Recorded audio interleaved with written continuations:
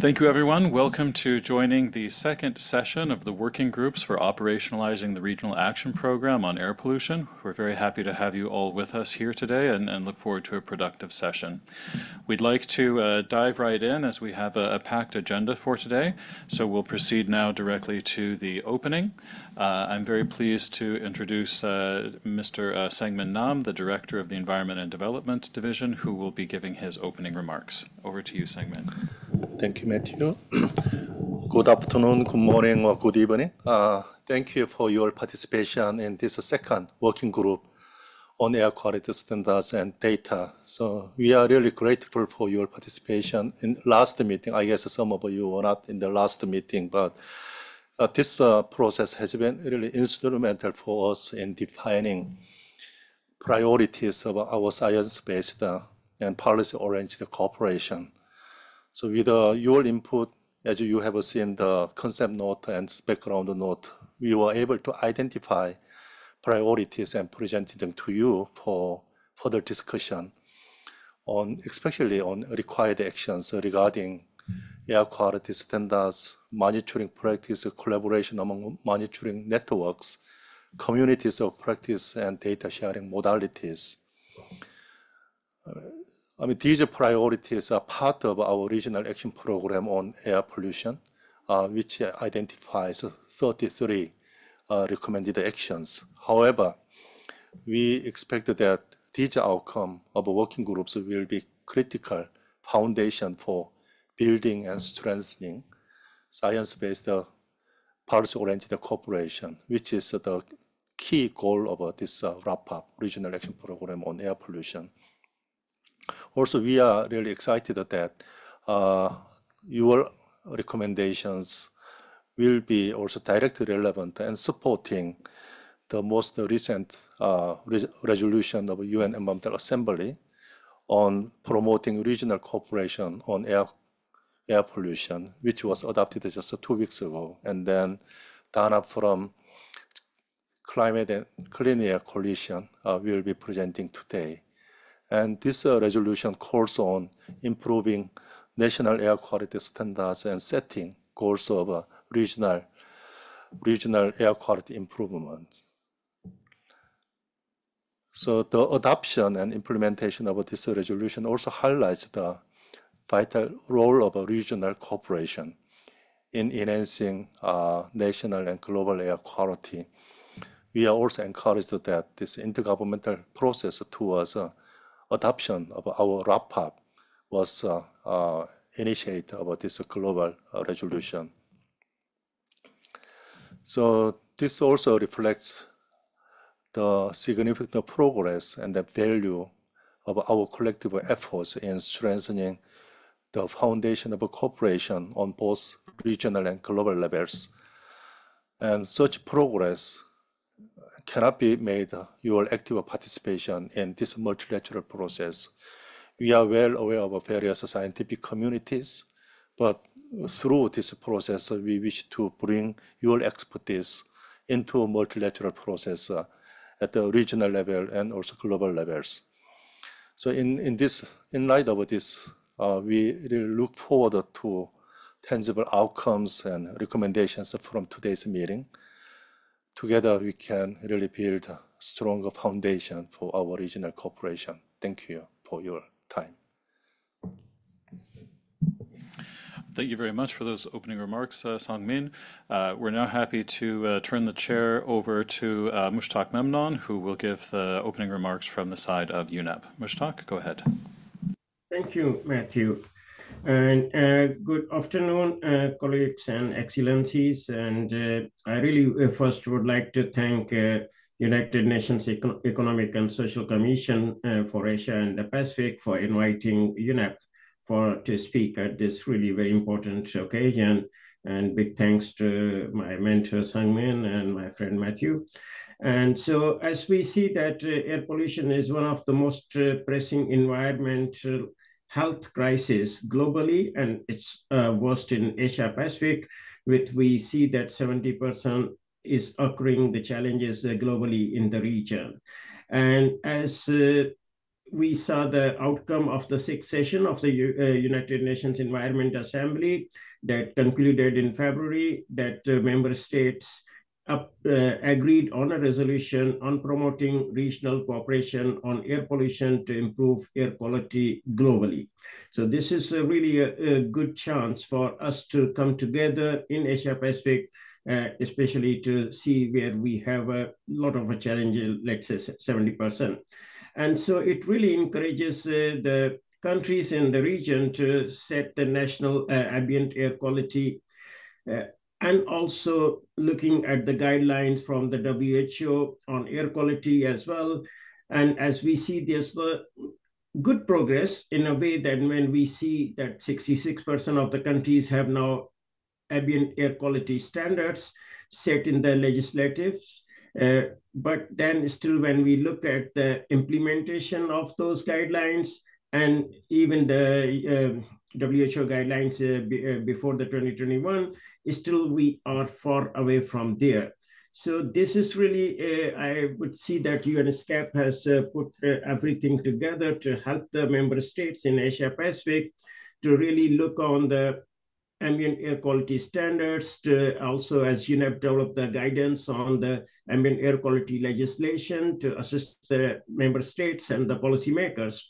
So we are looking forward to work together with uh, everyone in leadership from UNESCAP under this uh, uh, regional action plan for Asia Pacific, and also now under the UNEA resolution from uh, six, uh, sixth assembly, which talks about the UNEP to facilitate the cooperation network on air quality working with all the regional mechanisms across the globe. So in Asia Pacific, we have quite a few very impressive. Uh, in addition to RAPAP, is uh, APCAP, it's EANET, and uh, it's also the uh, for the Malé Declaration, which we are also trying to reignite as well. Uh, so I really would like to thank again uh, everyone here, and I will. Uh, I'm sorry that uh, I'm in Tokyo. I couldn't join in person for this very important one as we are conducting a. quality related training, but uh, hopefully end of May, we are working with UNESCAP for a major event in Bangkok. So looking forward to many of you seeing there. Thank you very much, Matthew and Sangmin. Great. Thanks very much, uh, Mushtaq and, Sangmin, for your opening uh, introductory remarks. At this stage, it is, uh, it is my pleasure to provide a, background orientation on this process to operationalize the Regional Action Program. Um, I will be going through this background as, as quickly as feasible. We're very grateful for all of you for giving from your time to join this process, and we want to have as much uh, time available for the open plenary as possible to hear from you and, and have your interventions. So I'm going to go quickly. Uh, if it's too quickly, uh, you can uh, refer to any of these slides in the reference materials after, after the meeting, but let's dive into it directly. Uh, as you can see on this uh, next slide, the uh, Regional Action Program has five thematic areas. Um, in those uh, uh, verticals, we have been able to mobilize uh, voluntary contributions from the member countries to support taking the work forward, which has allowed us to move directly from adoption of the agreement straight into action. So we'll review briefly some of the actions that we've taken and where it is that we're going with that. On the next slide, you can see the project portfolio that we have at our hands to work with at this stage uh, and demonstrates the, the different tracks that we'll be taking forward on this. Um, in particular, uh, the uh, building partnership and coordination platform for the Regional Action Program uh, will have a, a, point on the agenda in um, the working group on data, where we hope to receive your inputs on how we can move forward with that. Um, on our next slide shows uh, some highlights in the international events that we've had so far. Uh, with the passage of the RAPAP in December of 22, we moved immediately to the high-level forum on clean air in Mongolia to receive uh, inputs from member countries at technical and political levels on what uh, themes should be taken forward in action in the region. Uh, from there, we went into the International Day of Clean Air for Blue Skies in Bangkok in September of 2023, where we convened a number of uh, expert group meetings, uh, roundtables, and, and consultations to orient the work. uh, we're very pleased to have implemented in October of 23 in uh, conjunction with the Asia Pacific Urban Forum in Suwon, uh, one of our thematic expert group meetings on uh, air pollution, data, and uh, gender.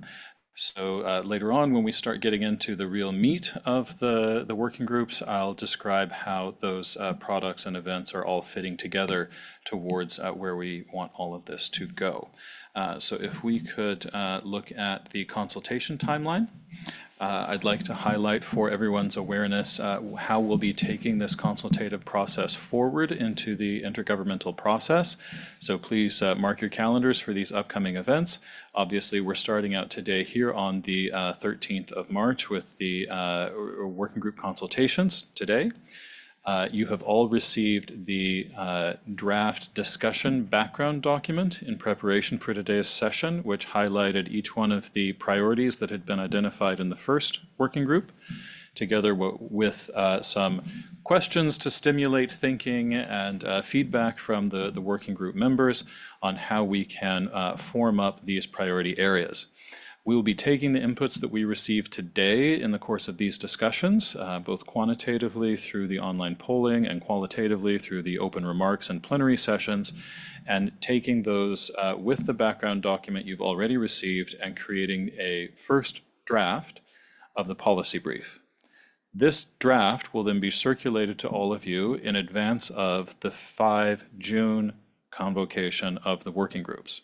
The, uh, for, the June meeting, we uh, expect to have the agenda focusing specifically on the draft text of that document, where we'll have the opportunity to hear from all of you on any areas that should be added, removed, refined, revised, in order to create a candidate final draft for then conveyance uh, to the Committee on Environment and Development in October of this year this will sort of complete the loop of taking the, the technical work that these uh, sessions comprise to the intergovernmental level to build consensus on implementation.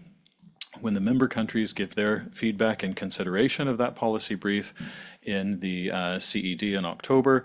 We will then reflect on those, use it to update the policy brief into its final form in the fourth and final session of the working groups of 2024 to create a document that represents both the technical inputs of this working group, uh, the political observations of the member countries, and uh, form the, the basis of the policy brief to inform ESCAP and, and, and other work in bringing the, the regional action program forward in, in 2025 and beyond. So that's how all of your time and uh, inputs will be linked together through the technical and intergovernmental process to, to set the direction for the next steps on this. Uh, we hope to have all of your participation. Uh, this, these are open-ended working groups. You're free to leave or join any one that meets your specialty as uh, may be fit. And we hope to receive a broad range of inputs from civil society, academia, and, um, and member countries in parallel to the political process. So mark your calendars. That's what we're expecting to do. Uh, in support of uh, those meetings, I would like to highlight briefly, I'm not going to go through each one of these, but these are some of the main analytical work products that we are expecting to release this year as uh, Environment Division in support of the action program. So we would uh, love to be able to work closely with experts and partners in the development of these uh, resources, uh, but please be aware that this is where our thinking is, and uh, we'll be developing these materials in, in support of the process. And then on the next slide, simply the, the link into the intergovernmental cooperation with the submissions to, uh, to CED8, as, as I discussed earlier. So that's how the calendar and the work products and the knowledge products are all going to fit together for the remainder of 2024 and beyond. So I'm going to cut my remarks here at this stage with that, you know, background and path forward established. We're all very much aware that uh, we've just had a good raft of uh, resolutions come out of the UNEA 6 product, process, some, some very exciting uh, mandates and consensus built there. Uh, and we're happy to, to welcome into the working group our colleague uh, Dana Krahal Duke uh, to walk us through the main highlights of that process. Uh, we obviously want to work very closely with UNEP at the global and regional level moving forward, uh, avoid duplication, enhance the synergies, and all that good stuff. So, without uh, any further ado, let's uh, give the camera over to Dana. Uh, would you like to advance your own slides and share your screen, Dana, or shall we? Um, thanks, Matthew. Happy to have you guys present the, the slide deck. All righty, over to you. Great. Thank you so much uh, to UNESCAP, uh, Matthew, the, the co-chairs of this event, as well as my colleague uh, from UNEP, uh, for his opening remarks. We're really excited to be here from the Climate and Clean Air Coalition to discuss UNEA 6, which was a really exciting event, um, as well as some areas of collaboration and advancing regional air quality. Um, I'm also joined by my colleagues in this working group, uh, who some of you may know well and who have been part of, of previous sessions as well. So for those of you who don't know, just briefly, um, the Climate and Clean Air Coalition is a UNEP convened initiative and a partnership of more than 86 countries and just as many non-state actors seeking fast integrated climate and clean air action to reduce short-lived climate pollutants, including black carbon, methane, tropospheric ozone, and HFCs at the intersection of science, uh, policy, and advocacy. Um, and just a, a, bit of background, this presentation came from a, a, meeting in January in Paris that UNESCAP attended in person on planning for a new CCAC initiative, the Climate and Clean Air Coalition Clean Air Flagship, which we're really excited about. Um, and since then, as has been mentioned, UNEA 6 has happened, and the resolution on promoting regional cooperation on air pollution to improve air quality globally has passed, which is very exciting and very relevant in the context of the Clean Air Flagship, uh, which was launched at COP28 uh, in its first iteration. So if we could go to the next slide, please. Thank you. So just a little bit of background, uh, the sixth session of UNEA or UNEA 6 was held uh, from the 26th of February to the 1st of March this year at the UNEP headquarters in Nairobi, Kenya under the theme Effective, Inclusive and Sustainable Multilateral Actions to Tackle Climate Change, Biodiversity Loss and Pollution. UNEA 6 had many outcomes. It was a, a mammoth event, um, including a ministerial decision, 15 resolutions, two decisions aimed at halting the progression of the triple planetary crisis of climate change, uh, nature and biodiversity loss, and pollution and waste. But for today, I really just want to focus on one of them. It's a big one, um, which has been mentioned already today. And this resolution um, is for promoting regional cooperation on air pollution um, to improve air quality globally. Um, so writ large, there's lots of stuff in this resolution, but um, it encourages member states to accelerate efforts to improve air quality globally, including by setting national ambient air quality standards, um, and invites regional and sub-regional cooperation bodies and initiatives, as well as financing institutions to implement regional solutions to air pollution, particularly in developing countries. And it builds on previous UNEA resolutions, recognizing that air pollution is one of the greatest environmental health risks and that enormous potential exists through the multiple benefits that air quality improvement can bring from climate ecosystems and health, highlighting that regional bodies are really vital to addressing um, the air pollution crisis, including LURTAP, uh, FICAP, as well as the CCAC mentioned explicitly. So um, in many more words than I will say, the, the resolution requests that UNEP um, work with interested member states, specialized agencies, UN entities, including regional economic commissions, to build and enhance national air quality monitoring capacity, including the use of low-cost sensors of proper quality, passive samples and satellite data, and digital solutions in conjunction with monitoring reference equipment. Um, and in direct alignment with the work of the Climate and Clean Air Coalition, it uh, calls for the support of the development of regional air quality arrangements, including an Africa Clean Air Program, which was also um, a recommendation of a CCAC UNEP African Union Commission um, assessment on integrated air quality and climate action in Africa. Um, it also requests very crucially that UNEP share uh, relevant knowledge, information, and expertise, best practices, interactive online tools, and data and air quality maps through an online platform. And I will come back to this very important point because um, this is something the CCAC has now started to work on in support of this resolution as well.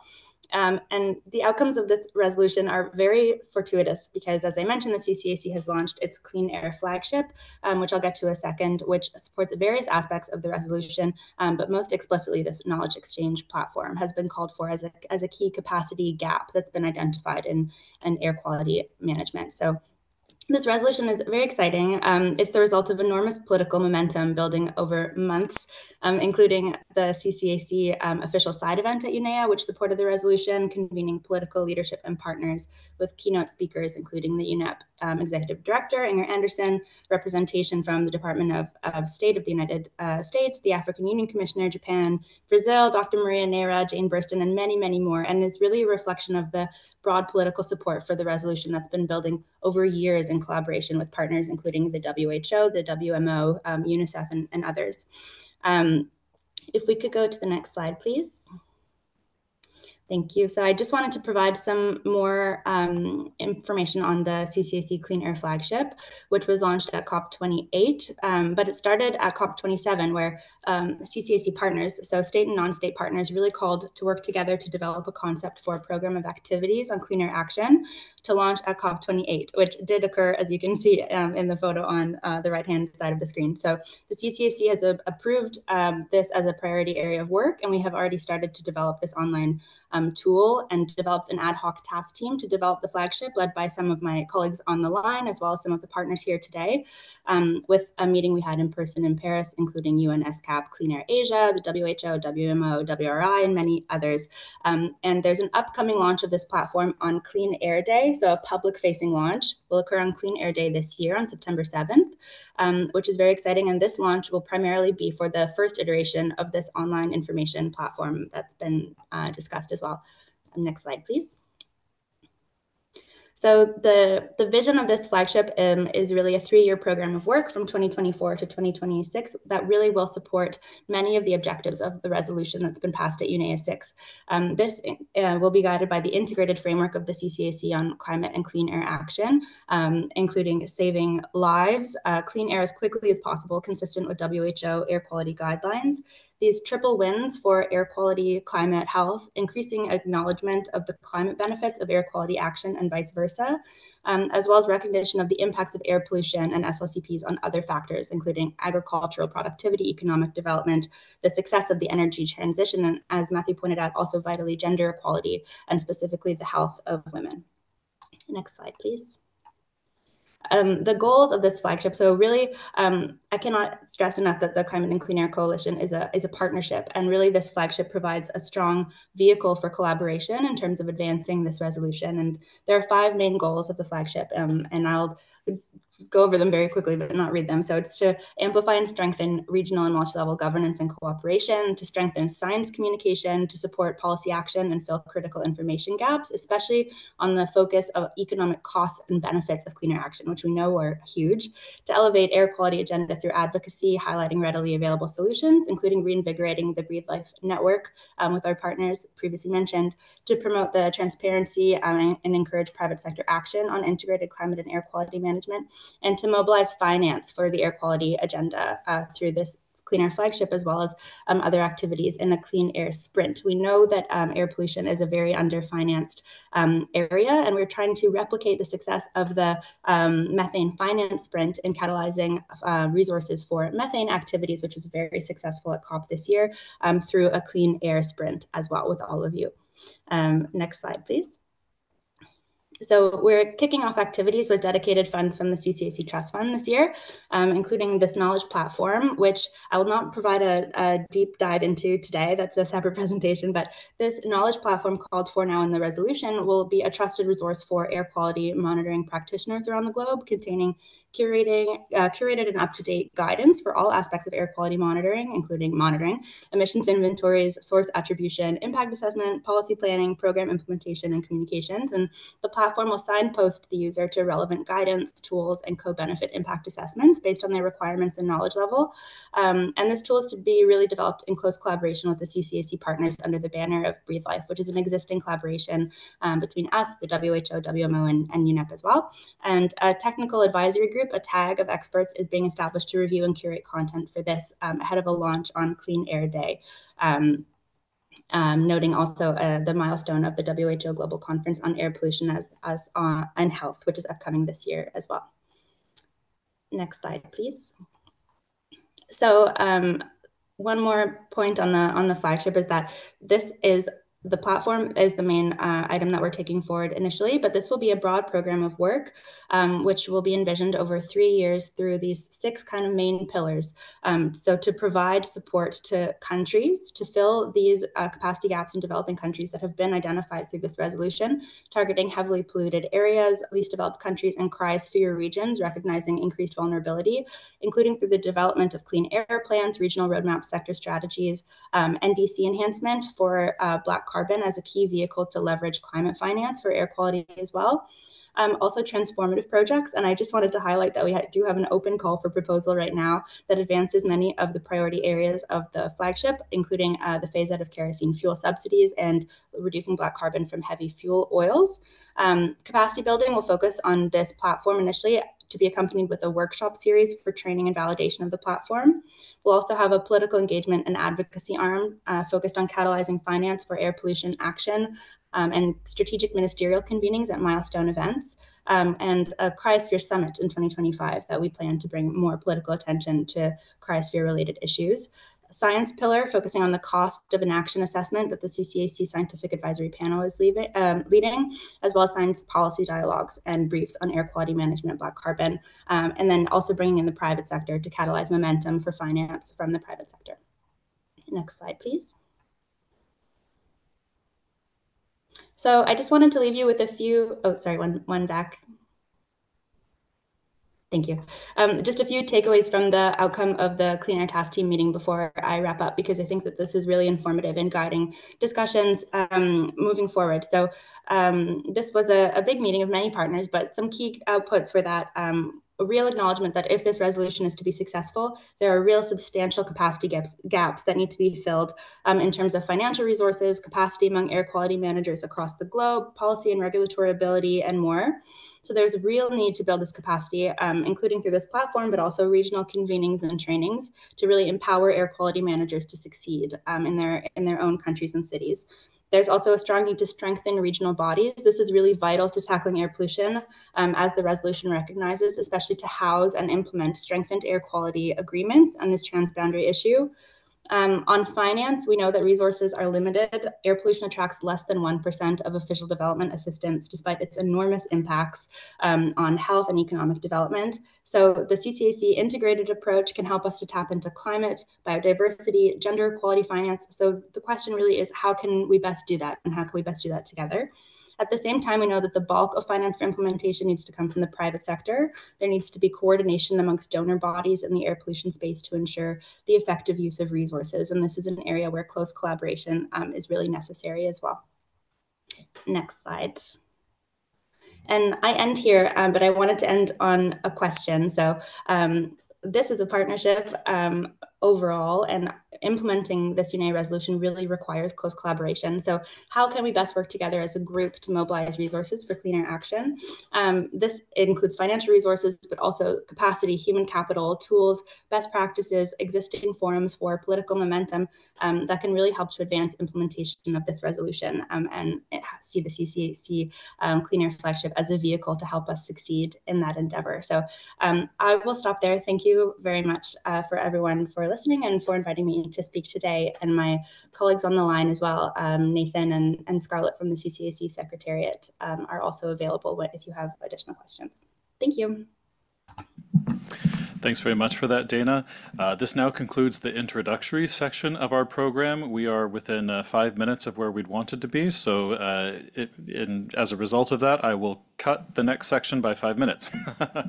so uh, we will spend between now and uh, and 240 with an orientation to the substantive topics for this working group so we can get into the uh, interactive portion as quickly as possible.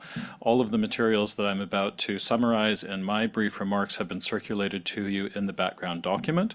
So this is to help kind of juice our brains and, and get the right thoughts back to the frontal lobes to go have the, uh, the, the interactive discussion after this.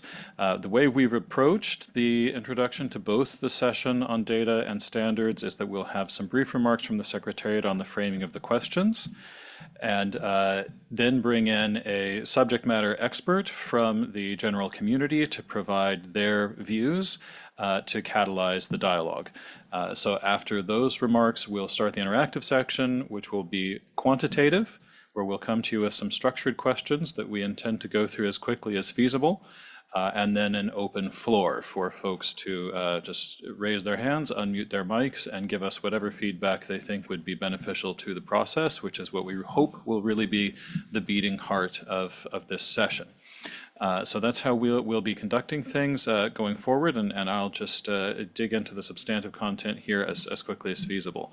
So I've, I've shown for you here on the screen how we got where we are with uh, the, the documentary process that led us here with the Regional Action Program, going to the high-level forum and its uh, recommendations. Uh, the first inception meeting that I know many of the people in this room also in, attended, at which the priorities were selected, and the uh, thematic expert group meeting on uh, data gaps around gender in, uh, in Suwon. So all of those documents are out and available. Do feel free to refer to any of them. Um, and uh, we'll be uh, pulling those together as we move forward with the policy brief through this process. So I'd like to talk a little bit about the, the challenge at, the, at hand that we have for today to, to orient everyone. Uh, you know, we'll, we'll be re reviewing within the Regional Action Program mandate framework the priorities that were uh, set in uh, the first session of the working groups. So we'll be digging into specific questions on how to flesh out those ideas in, in the policy brief. Um, the version zero of that document is the, the background document that was circulated to you two weeks ago as, as we discussed previously. So, uh, with that in mind, uh, we're going to be coming at you with a lot of text. Uh, I'd like to talk a little bit about keeping the thread. Uh, throughout the slides, as we're going through the uh, reference materials, if it's something that's a mandate that was established by the action program, which was the negotiated document with the member countries, it will have that icon. If it's something that's our own work product from the deliberations that we have been undertaking as a group, it will be marked with the, the working group icon. So that will at least help keep some of these, these walls of text a, a bit clearer. Uh, so with that being said, let's go straight into the working group on air quality standards. I'd like to just briefly acknowledge that in the inception meeting, we discussed and agreed on the membership and roles. Um, those terms of reference have been uh, adopted and were distributed as annexes to the concept note in the previous conveyance, so uh, this will apply to both working groups moving forward. In terms of the background here, uh, the, the key issue is the uh, diversity of standards at the, the national, sub-regional, and regional levels throughout the ESCAP region. Uh, the member countries were very interested in having support for the enhancement of standards and the harmonization of standards uh, at the national and collective levels to facilitate regional cooperation. So that's the, the, the centerpiece for uh, the working group on standards. Uh, the relevant portion from the Regional Action Program, paragraph 8 in this case, where they are not present, setting national standards, and uh, as appropriate, um, uh, implementing or improving existing national air quality standards. Um, this will obviously be guided by the work that UNEP has done in their global inventory of legislations, regulations, and uh, policies. Uh, and we heard from Eloise in session one on that uh, and uh, hope to continue that thread. So for the Regional Action Program, uh, section three, paragraph seven, observe the differences among the, the, the member countries in the levels of uh, implementation and gave us a specific list of air pollutants that were uh, considered to be of concern to the, to the ESCAP member countries. So we're going to drill today into specifically how to take that forward in, in a realistic manner. Okay, so uh, the first recommendation that we had from session one was to uh, develop recommendations for regional harmonization on the guidelines. Uh, and uh, the, the narrative has been provided to you. So I'll just specifically move forward to the discussion points that we would like to uh, uh, solicit in particular input from the group today. Uh, you know, member countries are demonstrating uh, wide variability in air quality standards that they have in place building on existing research, which aspects of air quality standards should be prioritized. We obviously can't bite off them all.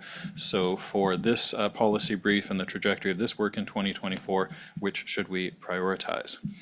Uh, so together with the measurement and reporting of specific air pollutants, we also have cases where individual countries set their own basket of indicators for the national AQI. Nothing wrong with that, totally fine. Uh, but we do also, in parallel to that, need to have uh, internationally comparable AQI standards for reporting of those basket indicators. So how do we go about that? So the second uh, discussion item under the working group on standards uh, takes reference to uh, para 8, subsection D of the Regional Action Program, uh, which is uh, specifically around the compilation of best practices for monitoring air quality. How do we really do that? We see this come up a lot in the, the different circumstances faced by ESCAP member countries. Uh, we were very pleased to see the uh, Microsensors Challenge undertaken under tropical conditions this last year, which was uh, very beneficial at identifying best practices that could be useful in our region, and we hope to see things like that uh, continue. So uh, for the, the uh, priority for this working group is compile best practices for monitoring air quality. Uh, and uh, the, the uh, point before us is how to give domestic guidance on quality assurance and control in the context of, of global practice for air quality monitoring.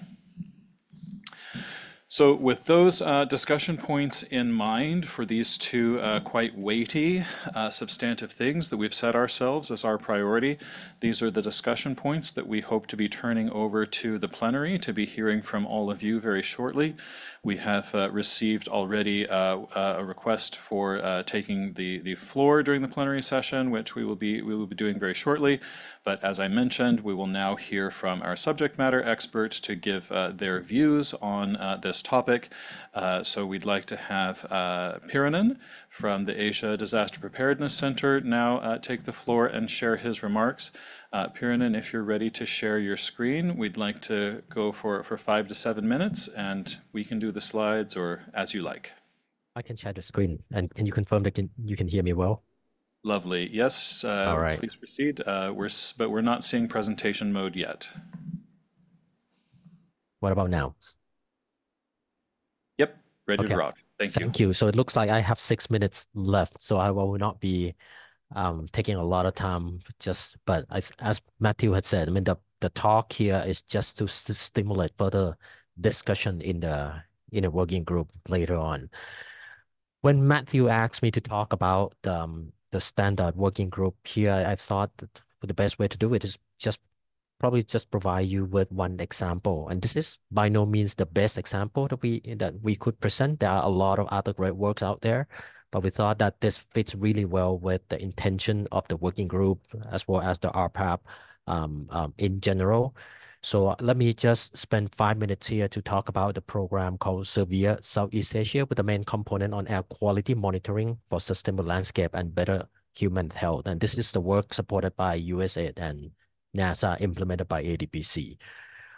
Of course, we are talking about air pollution here, but I think to really convince uh, decision makers that this this is some real problem that they have to take actions on. I think we have to look beyond just air pollution. We have to look at the impact of it, particularly on health as well as socioeconomic um, impact of the pollution.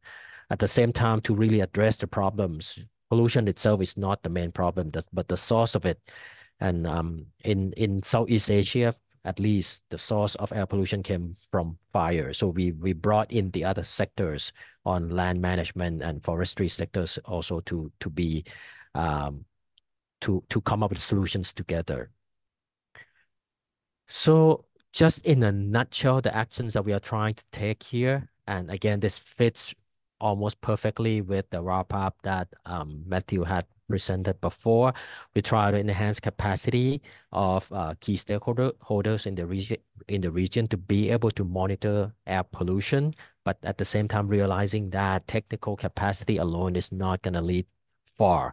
We want to also raise awareness of decision makers on the importance of air pollution monitoring and actions that can be taken to address it. We want to also uh, open up the sharing of information and data through development of either a new tools or enhancing existing tools, make it very user-friendly, make it accessible to anyone to use. But at the same time, for sustainability, we, we want to integrate our work here, uh, which is a project, but we want to in integrate into existing or new regional platforms or framework or programs to really to sustain the work going forward. And one of the um, one, one of the regional platforms that we were looking at was ASEAN, of course, but also the, the RAPAP. So what do we do? Just to um, recap very quickly on what we did before, we developed an application, a mobile application that used satellite data to to give information continuously over the region. In the past, you may have to rely on ground data, which can be spotty and can be scarce in many other areas, but we fill the data gap by um, putting satellite data to to uh, allow everyone to know about their air pollution condition at any location. But as I said before, the source of air pollution came from the other sector. So we we help and um, pilot some of the works with Thailand before on um, addressing the source of pollution. First is Smoke Watch, which is the, which is the application where you can uh, detect fire and then try to put off the fire before it spreads too far and creating uh, pollutions. But the other interesting interesting one is Burn Check. This is uh, applicable for uh, the agricultural sector, which is the main source of air pollution in Thailand, at least. Uh, the idea is to use this app to look into the future forecast of pollution and then use that as the deciding factors to determine whether uh, the government can allow farmers to burn their residues. They will be allowed to burn if the condition is right, but if we are we expect to see pollution in the next few days, then they will not be allowed to burn. This is a way to manage uh, burning rather than uh, banning it completely. But as I said before as well, that we should look again at the impact of um, air pollution on health and use that as a means to increase awareness of stakeholders. So we look into uh, correlation between the level of pollutions, PM2.5 to be exact, and impacts on, on human health, on the respiratory disease, eye disease, and other uh, impact that could be deciding factors and use as a guideline uh, to set up the standard for um, danger, danger level for uh, air pollution. But all in all, we look beyond the project itself, right? We have to support existing cooperation, transboundary, or working between countries to to bring up to set up the standard to increase data sharing, but also the knowledge and lesson learned. So we are trying to do that uh, first as in the first spot between Thailand and Laos PDR, but we look forward to adding other countries. And at the regional level, we try to work with the ASEAN as well as UNESCAP here on implementing on oper operationalizing the RAPAP. So I hope I did not take too much of time. Um, I will be in this uh, working group discussion as well as my colleagues here uh, as well. And you are well, also welcome to take a picture of the screen and go to the website where you can get more information. So I'll leave it at, at that. Hopefully this will get everyone start thinking. Thanks, Pierre, and that, that was great, very helpful.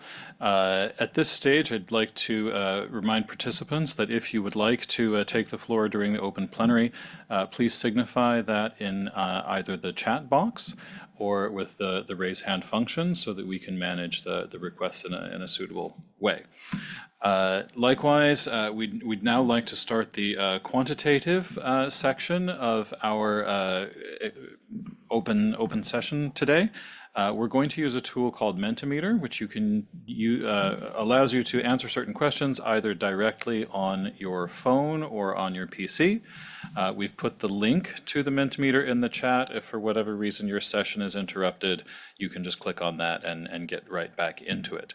Uh, we'd now like to get the uh, QR code on the screen. So for those who would like to scan with their phone, uh, please do so now. We'll give you about 20, 30 seconds to pull that up before we, we dive in. Uh, we have a, a set of uh, quantitative uh, questions to go back and forth with the group uh, and hope to have the, the bulk of the session on uh, open discussion during the plenary uh, in the order that request a speaker received. So with that being said, I'll now turn the mic over to my colleague Kelly Hayden, who will be guiding us through the quantitative session as well as the, the open floor.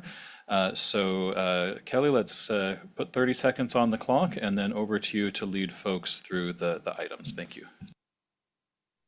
Thank you, Matthew. Uh, and actually, just as a just as an aside, uh, ESCAP staff will not be answering the questions because we're, you know, secretariat servicing to the working group. We're not members, but we do hope that all the rest of you will. We do want to hear from our UN uh, sister organizations, civil society, everyone else in the chat is very welcomed to uh, respond.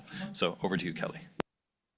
Yes, thank you very much, Matthew, and good good afternoon, everybody. Um, uh, as Matthew said, that uh, uh, if you could log into the Mentimeter, this is just a way to collect some of um, just some of the initial results and thoughts from everyone in the in the uh, in the meeting at the moment on the actual discussion points. Uh, we will then move into the actual plenary for this standard group on uh, uh working group on standards um, to have a more open discussion. Um, so if you could just click on the link or and add that code, at, which is at the top of the screen there. Um, yeah, and uh, we have a timer on, so whenever we're ready to start and join the, um, move to the next slide. I'll let you go. Okay, so the first point is um, the scope of this particular um, it, it's this is to do with developing recommendations for regional harmonizations of guidelines and policies on air quality standards. Um, and so the scope of this particular uh, point is to, um, based on national needs across the region, identify countries which may be candidates for cooperation of, this nature. So of who may want to join in a regional harmonisation of guidelines. Um, and accordingly provide technical cooperation upon request and within existing resources for countries to improve. So basically what we like to do is have you add your um, you know, countries that should be sort of included in this particular scope for harmonisation, uh, regional harmonisation of guidelines and policies near quality standards. So if you could just start typing in um, into the Mentimeter, and we'll give you a few seconds to do that. Um, yep, great. We have one Nepal. Um, any, we have a few countries um, actually in, in the meeting today. Um, I know I've seen Laos, I've seen Thailand. Yes, there we go. We're getting a few more in there now.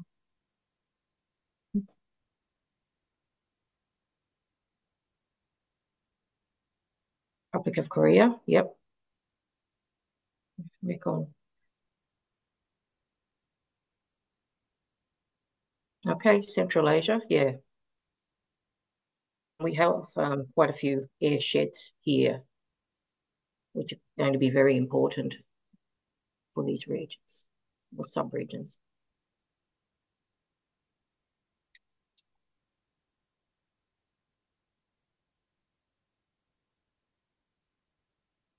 Okay, I think that perhaps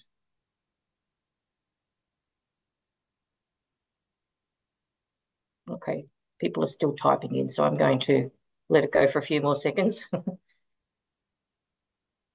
okay, the island countries. Mm -hmm.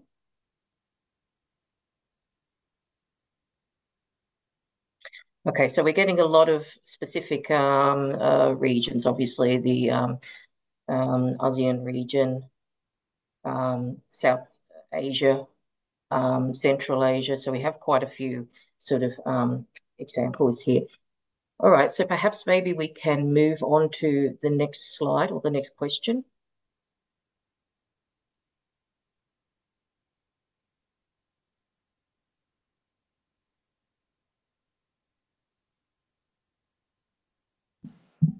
Um, so just to clarify for participants, at this stage, the system is taking all of the responses received and giving res uh, the participants the opportunity to vote on which ones uh, have the most uh, support.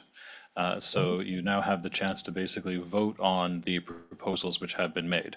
Um, obviously, as the Secretariat, we'll go through this and where uh, you know proposals might be different only in phrasing, you know, we'll combine those votes. Mhm.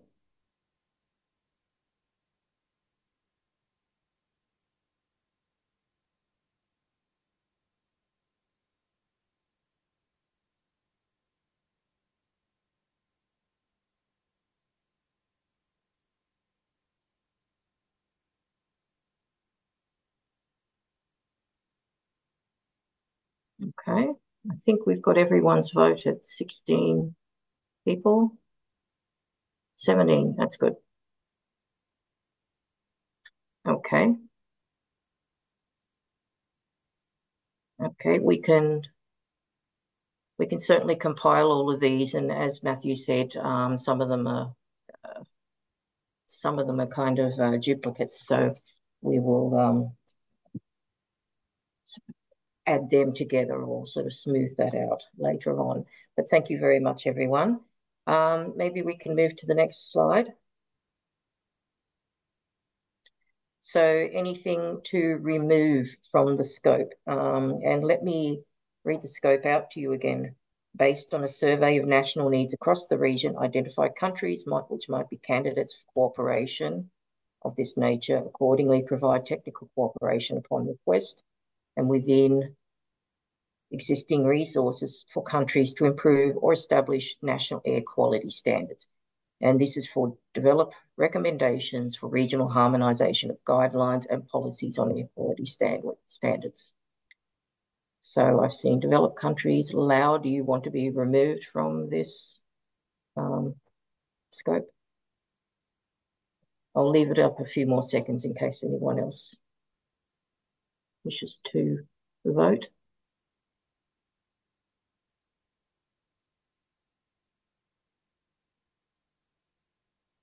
Okay.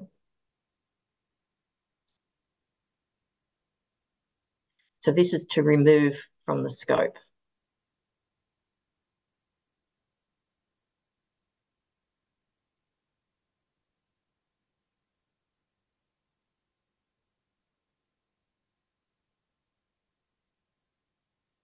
Um,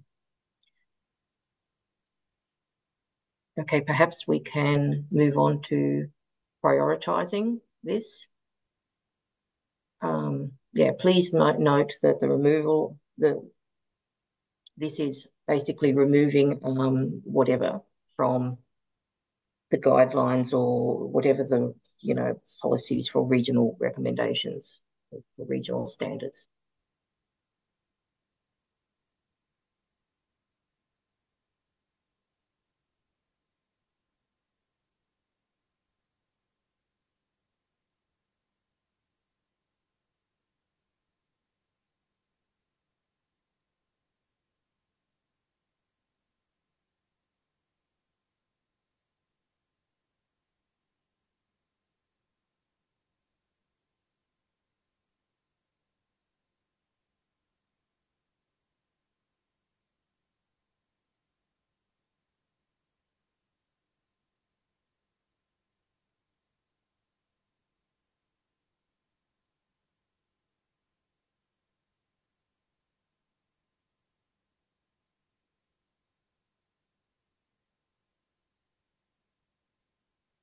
Okay. Have we left adequate times? Yep. Okay. Okay. Existing regional cooperation. Okay, we might have to clarify that a little bit more um, later on. Okay, so countries.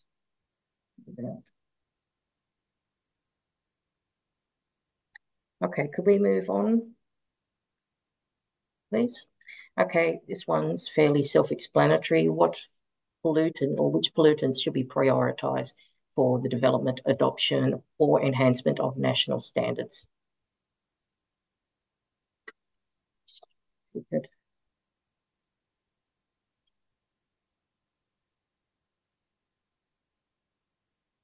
And if anyone's experiencing any problems or whatnot, um, please let us know either in the chat or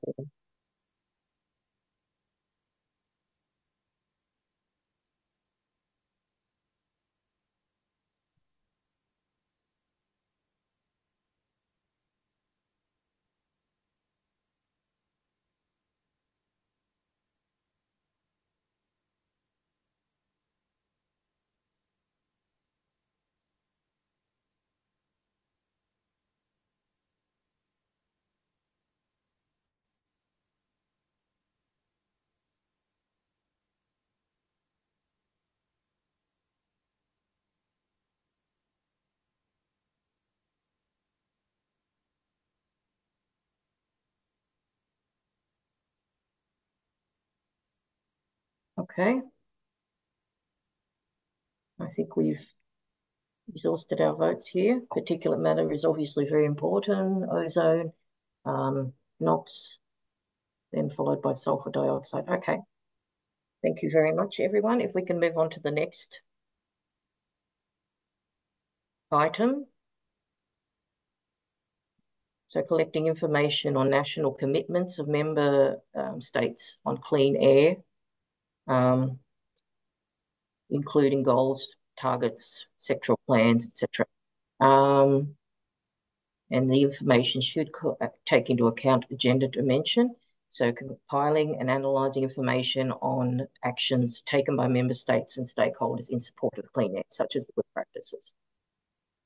the information. So that is the actual scope of this particular set of questions.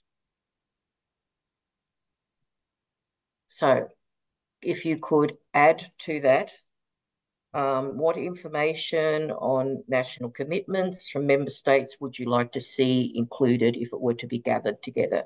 Best practice practices in monitoring air quality. So if you can start just adding kind of, you know, your ideas that come to your mind.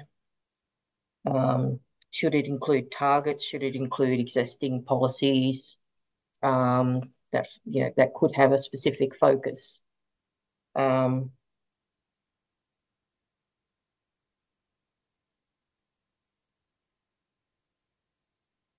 what would be useful for you in terms of successful case uh, case studies, um, you know, to share between various countries or you know existing policies.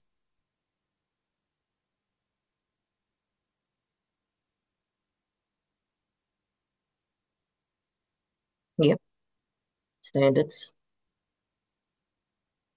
Okay.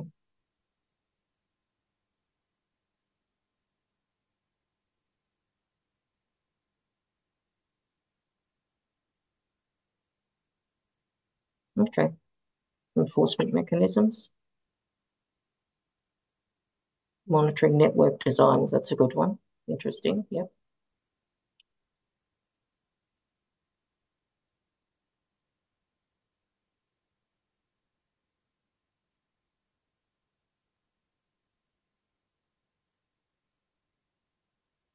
Okay.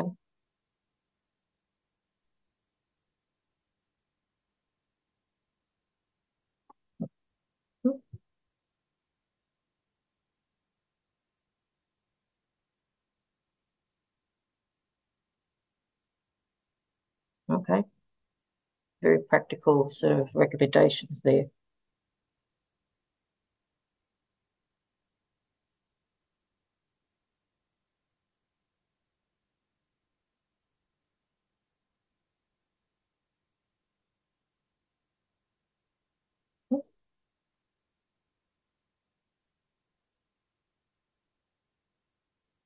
I think we have some really interesting um, examples and responses here. So if we can move to the next slide and um, allow you to prioritize again, implementation support. What do you think is sort of going to be more important than others? There's quite a few things to vote on there, so I'll give you some time.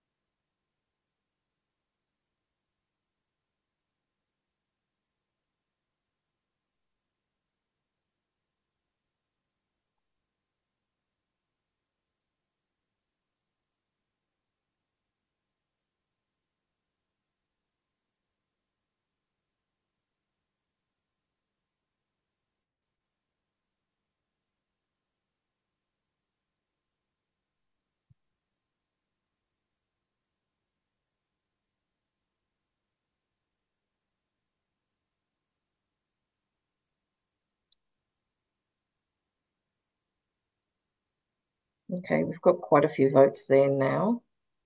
Um, so that we can have some discussion. Um, I think we can move on to the next. Okay, poor and vulnerable policies. Okay, sustainability accent, cross-sectoral scope. Okay, very interesting. We perhaps can come back to some of these issues during the discussion. Um, maybe we can move to the next slide. Um, again, this is actually to remove from the scope.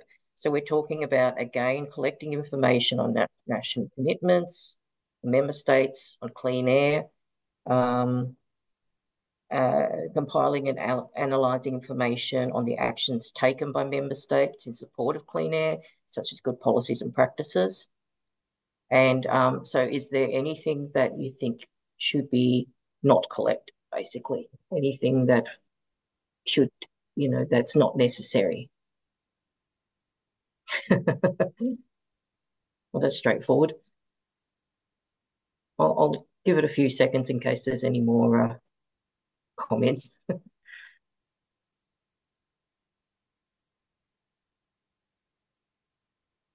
All right, that's fair.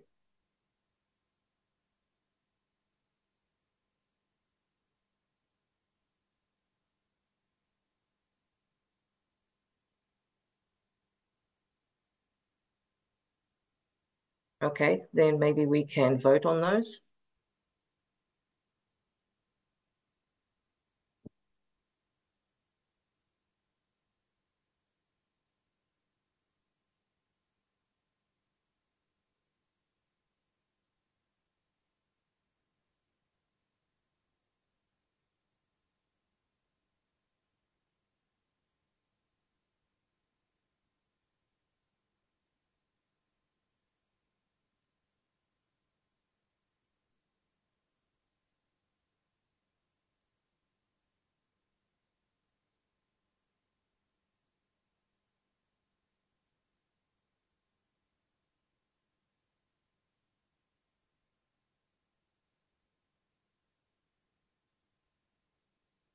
People.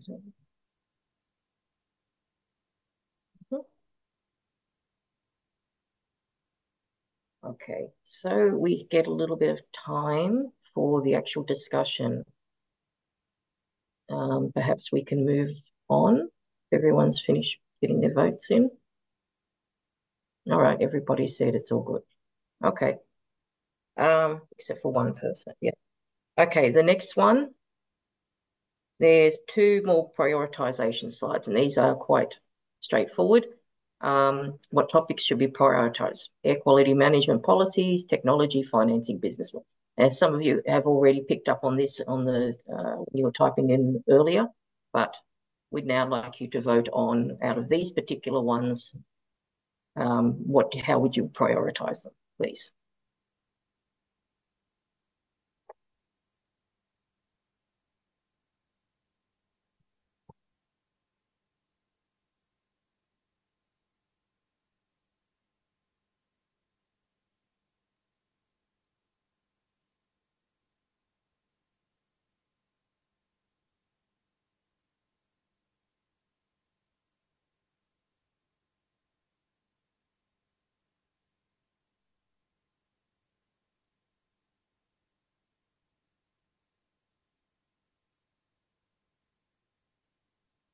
Mm-hmm.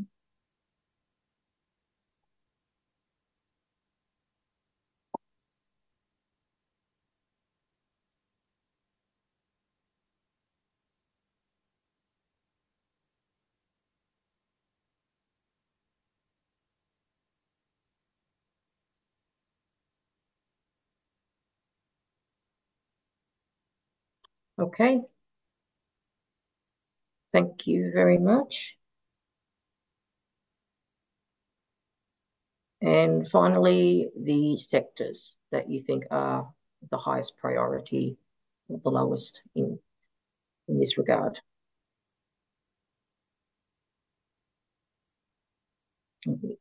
It's with respect to air pollution standards or you know, collection of information.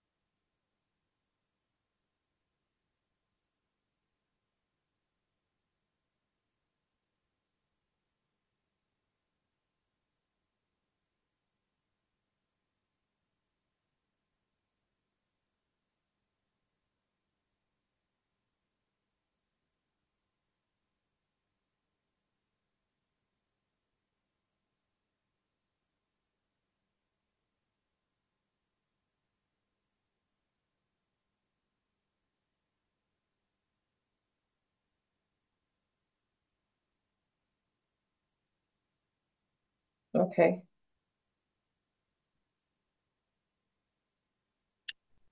All right. All right. We're still voting. Sorry, I will move on to the discussion in a second, but we're getting some very interesting results here. Okay, if we can finalize this um, or conclude the Mentimeter part of this um, this discussion. Um, what I'd now like to do is actually move into the plenary uh, discussion area. And we do have a um, we do have one request for an interve intervention from um, Mr. Bert Fabian from EANet. So I would like to pass the floor on to him first. Um, and after that, please, you are most welcome to um, add your request to speak either in the chat or raise your hand. Um, and we would very much welcome your thoughts on this topic. Okay, so Bert, I'll pass it over to you. Thank you. Thank you very much, Kelly. I'm Bert Fabian, a coordinator of the Secretariat of the EANET. EANET is one of these uh, intergovernmental bodies on acid deposition and air quality management. It started way back in 2001. Just uh, maybe some uh, uh, contributions to the discussion. Thank you very much to ESCAP colleagues for organizing this meeting. And I'm really actually hopeful because there are so many participants uh, from uh, relevant organizations. This issue of air pollution is very big. And uh, it's not only really about the standards, the monitoring, uh, the data itself, but really the cooperation, right? But going back to the uh, discussion points in terms of uh, the standards and looking at it, there are probably many studies out there already on in terms of uh, what the countries in Asia Pacific have in terms of standards. Most will be based on the WHO air quality guidelines, as we know. However, maybe something to look at is how the countries go from interim target one to four and reaching the air quality goal, sorry, the air quality guideline itself uh, because I'm sure there are many countries that are stuck in interim level one, interim target one uh, and two. Having said this, uh, EANet also compiles uh, uh, air quality management information for its 13 participating countries. We are updating the information this year, or we should start this year. And these are all information approved by the 13 participating countries. And as such, uh, especially during this time that we're updating it, including the standards, we would be happy to, to share with uh, uh, our colleagues in ESCAP and also widely. Another issue on the standards, I looked at the ranking. Of course, particulate matter is very, uh, very, very important. Haze, uh, this is what we always see. But I'm also thankful that you now have polymatic, uh, sorry, polycyclic aromatic hydrocarbons. Some are uh, VOCs, the volatile organic compounds. EANet is also looking into this because there are very few countries in Asia Pacific that have ambient air quality standards for VOCs. And in some cases, it's getting very important. 40% of uh, waste that is burned is plastic. This emits uh, vinyl chloride, which is also very harmful to health uh, EANet is working in uh, uh, uh, the Philippines, Mongolia. The Philippines wants to develop its own ambient air quality standards for some VOCs. Thailand apparently has ambient air quality standards for 17 uh, VOCs, including vinyl chloride, benzene, etc. So again, this is something perhaps that EANET can contribute to the uh, discussion and support. Perhaps I stop here. I'm sure there are many other uh, issues and other colleagues may be able to uh, contribute. Thank you very much again. Uh, thank you very much for that, um, Bert. Um, yeah, I we have one request for um, from Professor Elo Eloise Scotford to actually take the floor. Um, and again, please let us know if raise your hand or um, you know, write in the chat if you'd like to speak on any of the matters relating to the uh, air quality standards. Um, thank you, please, Eloise. Thanks, Kelly. Um, I thought, uh, you know, you, have asked a very specific question about which aspects of air quality standards should be prioritised. Um, and you've also got the question about air quality indexes I have thoughts on that, but maybe put that to one side for the moment. But just on the the aspects of air quality standards to be prioritized. Um, Bert just made a really good point about ambition, which I think is where the discussion often is about, um, you know, uh, and moving from interim to the air quality guidelines over time. Um, if we're taking the WHO guidelines as a reference, which I think we should, um, and we must, because that's the best evidence-based uh, reference point. Um, and I think thinking about which standards, which pollutants uh, to think about, you know, how to develop those pathways to ambition is really important. But I wanted to flag a different set of um, uh, kind of aspects of uh, air quality standards that I think do still need to be prioritized. While that discussion around ambition, it's often where the politics is. It's often where the kind of the push is to get the targets, which are focus minds and and and really set the direction of travel there is a risk if all the discussion is around ambition that how you achieve that ambition and building in frameworks for the how gets a bit left out of the discussion because it's this you know people who work in air quality management know how important that is but it's the less kind of interesting stuff politically um so the kind of the aspects of what I would call the kind of governance framework that need to be prioritized as well as having air quality standards of adequate ambition or a route map to getting to that ambition over time. Um, and this is, you know, the the work that I've done with UNEP on looking at air quality legislation around the world, uh, kind of the, the research we've done. There's a real risk that you can have air quality standards in law, which, you know, that's what this um, program of work is heading towards as well, that are kind of bare standards that then aren't uh, enforceable in any way. And I think it's that piece around implementation enforcement that needs to be in there from the outset. So a couple of points in that governance framework that I think are really important uh, to have on the table. One is, it might sound quite simple, but it is, I think, incredibly important that the public health objective of those standards is built into the legal framework from the beginning. And that's because there is a real risk that in the implementation of standards, they might be traded off against other interests uh, or other priorities. Um, you know, most classically economic or development, whatever it might be, but however you understand development. But I think having that public health objective really connected into what those standards are uh, in, in the governance or legal framework is super important. Institutional accountability for those standards, someone has to be responsible for delivering them. Oh, okay. Okay. Okay. Oh, think that might just be someone with a mic on, not necessarily a conversation. Yeah. um, Thank you. Um, yeah, so someone, and normally an aspect of government, if not uh, government generally, being institutionally accountable for those standards. And that's to mitigate against the risk of kind of bare legal standards. No one actually is responsible or accountable for achieving them. And you'd be surprised how many legal frameworks don't have that accountability so they can sit there, but no one actually has to deliver them.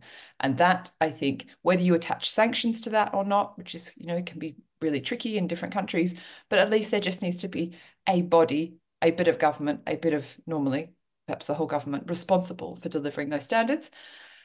And that goes to then um, one of the points that's already come up in the Mentimeter about structuring coordination of policymaking, because often uh, air quality standards are not achieved because different parts of policymaking are not coordinated.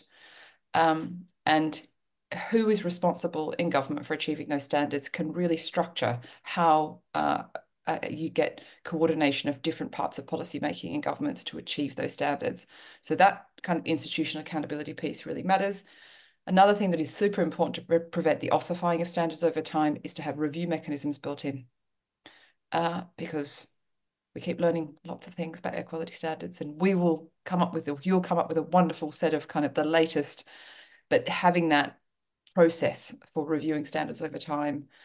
Um, and then two more things thinking about access rights for the public, a big, big dimension of uh, environmental governance generally, but particularly in relation to air quality standards. And we see this coming up at the moment. We're seeing it coming up through litigation now a little bit, not as much in the climate change space, but and certainly in Southeast Asia, where you know, people are understandably frustrated about levels of air pollution and want some accountability and don't necessarily have roots into kind of governance systems. And that is a much more efficient way and effective way of involving the public in um, in air quality standards that they can participate in the setting of standards, in this, the making of plans, uh, they have access to information and all of that stuff.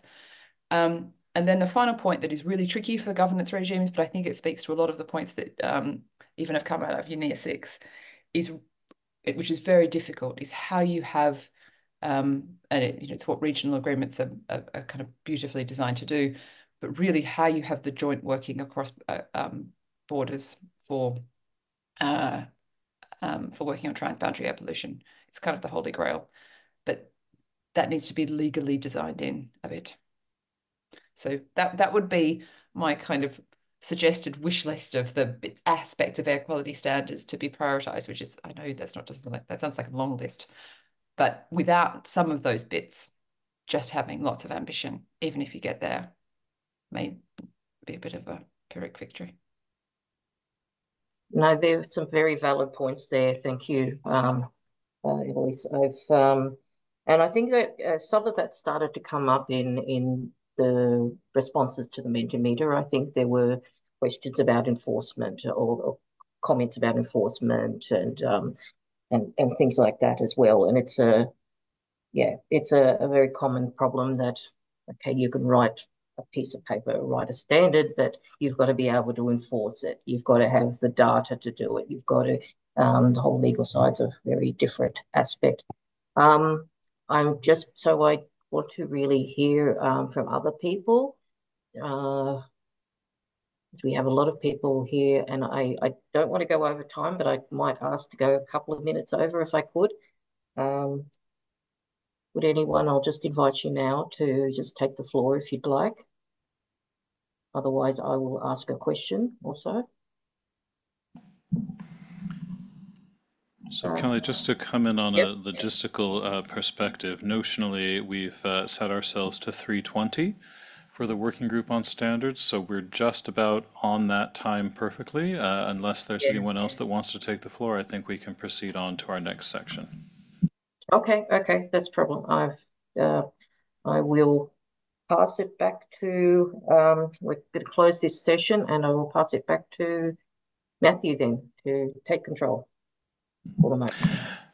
Okay, great. Thanks very much. If we could go to the uh, slides. Uh, and and I realize I just reflected on us being more or less on the time. Uh, that being said, with the list of speakers that we do have and, and the wealth of information that we have coming up, I'm going to make kind of a, a last minute decision to, to greatly curtail my remarks on the uh, substantive background for this session. Uh, hopefully that is going to suit us fairly well, but if we could just go directly to the scope for data sharing slide. I'll comment briefly on that, and then we'll go over to uh, Adam for his remarks.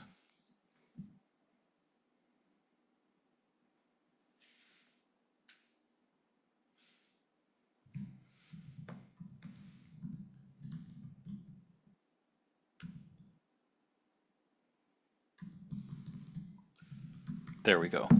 Yep, back one. Scope for data sharing, please.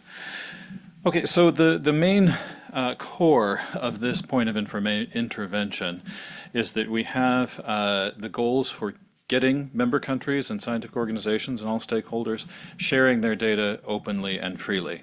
Uh, and that's kind of getting the data into the, the public domain. In parallel to that, we're hearing from you know stakeholders across the spectrum of the desire to have a kind of repository for that data to make it accessible and useful and drive towards uh, policy action and, and action to actually reduce air pollution. So those are some of the aspects that are within scope of this working group, and, and when we get to the, to the Mentimeter section, we'll, we'll go through those uh, systemically. Um, that being said, I did want to take a, a few seconds to highlight um, this analysis, which I think sort of frames where we are in the in the data ecosystem globally on this particular point with, with open data sharing. Uh, so with the, the hat tip to the folks over at OpenAQ for the, the fine research work that they've done in this regard, I wanted to, to highlight briefly the basically proportionality between the uh, countries that are collecting uh, data and the countries that are that are sharing data. And we can see that within that uh, rubric, there's been uh, four elements proposed for um, analyzing and, and, and, and understanding um, uh, how accessible that data is. Um, and it can be noted that sort of the steepest drop off that we have among countries with monitoring networks that are collecting their data is the programmatic access. That's where we really kind of fall off the cliff if, uh, in terms of data that's being collected being uh, uh, accessible in a, in a useful way. So uh, as we go into uh, the, the Mentimeter and we're thinking about data warehousing portals for the data, we're thinking about repository platforms for storing policies and actions and commitments and things like this, we'll be asking for your feedback on what the shape of those sorts of priorities should look like as, as we go forward back to, back to the member countries.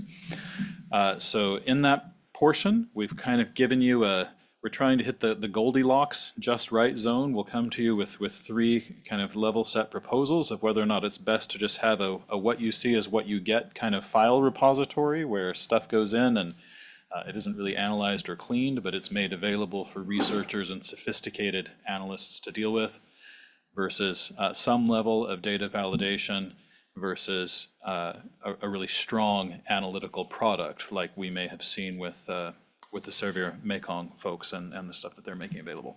So I will curtail my remarks there, and let's then go directly to hear from uh, Adam, who will be speaking to us on the amplifying communities of practice dimension and providing his perspective on what we have and where we should go. So Adam, over to you. Thank you. Thank you very much, Matthew. So uh, again, thanks very much for the opportunity to, to, talk about our experience on communities of practice. Um, we know that gaps in data, standards, and practical air quality management guidance are some of the biggest barriers to effective air pollution management. Uh, despite the availability of low-cost sensors, satellite data, and modeling to inform policymaking, there are many places in the world where data on air quality simply doesn't exist. And it's nearly impossible for policymakers to legislate to reduce air pollution while blindfolded. In late 2022, a study by Global Health Visions in partnership with UNEP and Clean Air Fund surveyed environmental officials, academics, and air quality management practitioners working across 119 countries and found less than a third of the countries had successfully implemented air quality monitoring networks or had air quality management strategies. Practitioners cited the lack of technical capacity as one of the greatest challenges faced by air quality management practitioners, second only to insufficient funding. And surprisingly, these technical challenges were reported as bigger barriers than any lack of political support or authority to implement programs. This kind of technical gap is compounded by poor alignment among agencies, institutions, and partners providing air quality management guidance. Individual agencies' fragmented approaches can lead to unnecessary duplication of resources and, at times, conflicting information. And the cross-cutting nature of air pollution as a health, environmental, and climate issue means it often falls between the cracks. So to improve the availability and understanding of air quality data, the U.S. Department of State supported a program with the Research Triangle Initiative in collaboration with academic institutions in Laos, Thailand, and Vietnam to deploy a network of low-cost air quality sensors. However, we experienced challenges in convincing some local experts and policymakers of the reliability of the data, even when it was calibrated against reference uh, grade monitors. And without accurate and trusted data and agreed upon standards, policymakers uh, can't effectively mitigate air pollution through legislation and regulation. It's challenges like these that led the US to work with partner countries to introduce the air quality resolution discussed by UNEP colleagues earlier at UNEA 6. Uh, we were extremely pleased and encouraged that UNEA 6 in Nairobi concluded by calling for this global framework for regional bodies to address air pollution and with a resolution to develop a global knowledge sharing platform and regional cooperation to tackle air pollution. We welcome this landmark resolution and urge governments to mobilize more funding for this much needed platform, especially for data collection, and to promote more robust regional coordination. We fully expect this new global platform will promote regional cooperation to improve air quality, building on the momentum created by ESCAP's Regional Action Program on Air Pollution. So to feed, into the establishment of a new global uh, UNEP air quality knowledge platform, the U.S. sought opportunities to increase, increase its support for regional resources to improve airsheds. Um, in September 2023, the State Department announced a partnership with ESCAP to launch a project to develop a methodology for improving air quality in airsheds spanning multiple countries. This new partnership, which is the first such U.S. funded program uh, with ESCAP in recent years, is expected also to serve as a model for the implement implement implementation of ESCAP's uh, Regional Action Program on Air Pollution. Another U.S. effort to build regional air quality data is our SERVIR Southeast Asia program you heard about already from Peeranan. SERVIR is now working with partners to enhance its existing satellite-based products and to expand them to cover other countries in Southeast Asia. And in the coming year, SERVIR Southeast Asia will also support the ASEAN Secretariat in its member states to impl implement the roadmap on ASEAN cooperation towards transboundary haze pollution control. So with so much work being done to improve regional knowledge, resources, and expertise in air quality management, we're looking increasingly for opportunities to build and harmonize communities of practice to leverage this past work and to avoid the duplication of efforts. More specifically, we're looking for opportunities to grow our regional networks. We believe regional frameworks provide a natural mechanism for coordinating donor assistance for air pollution initiatives, ensuring external resources have the maximum impact in creating sustainable paths to achieving clean air. The State Department has an ongoing program with the World Resources Institute on strengthening air quality communities of practice in Southeast Asia.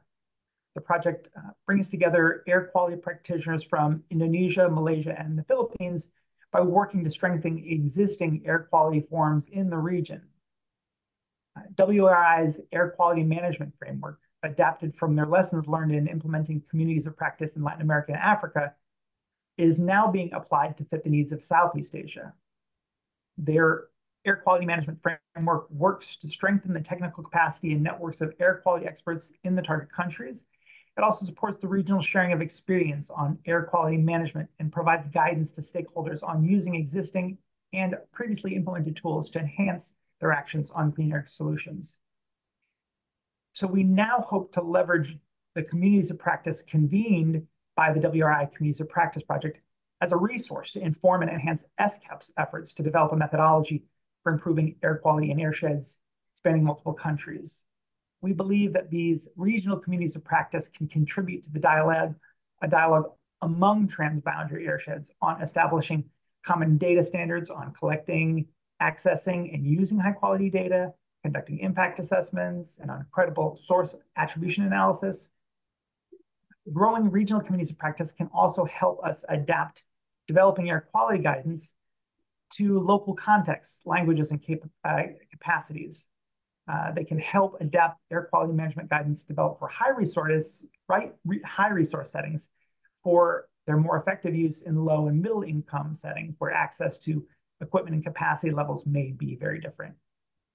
Uh, with this in mind, the US is also looking at opportunities to further extend uh, the community of practice work being done in Malaysia Indonesia, and the Philippines into the Mekong subregion, where we continue to build uh, on our previous work to uh, increase local trust in the low-cost sensor net network deployed through our previous Research Triangle Initiative pro program, and as with the WRI program, growing Mekong communities of practice could serve as a resource to inform and enhance SCAP's efforts to develop a methodology for improving air quality in regional airsheds we would encourage similar broader efforts to help communities of practice work in greater harmony across projects and across countries. All of this work from UNEA resolution to high-tech satellite data to building networks for air quality practitioners is intended to strengthen collective regional understanding of the importance of air quality and of effective measures to improve it. We hope our shared efforts to build robust regional networks of air quality practitioners and stakeholders can eventually enable and inform strong regulation and legislation at the national level. Thanks very much for your time. Back to you, uh, Matthew. Thanks very much. Uh, just a few uh, housekeeping reflections on, on time and pacing, as we do have uh, two designated uh, speakers already on the list for this session, uh, Chris and Sarah. Uh, we're now going to hear briefly from my colleague Anshuman, who will be, who will be speaking to us about one of ESCAP's platform development efforts, uh, which we hope to take forward in, in harmony with the, the efforts from uh, UNEP on their on their global platform. So as part of this, we'll have a, a few minutes set aside for uh, filling out this form, and then we will go to our uh, speakers list, uh, our Mentimeter. Thank you, Anshuman. Thank you very much, Matthew. And and uh, I, I, think this flows well from uh, you know the the discussions that we've just heard regarding uh, uh, you know development, the proposed development of a global knowledge platform. Uh, so, uh, you know, I think as was outlined earlier under the regional action program, you know, there are five action areas that have been outlined on air quality management, data, air quality monitoring, data sharing, best practices, capacity building, and multilateral cooperation.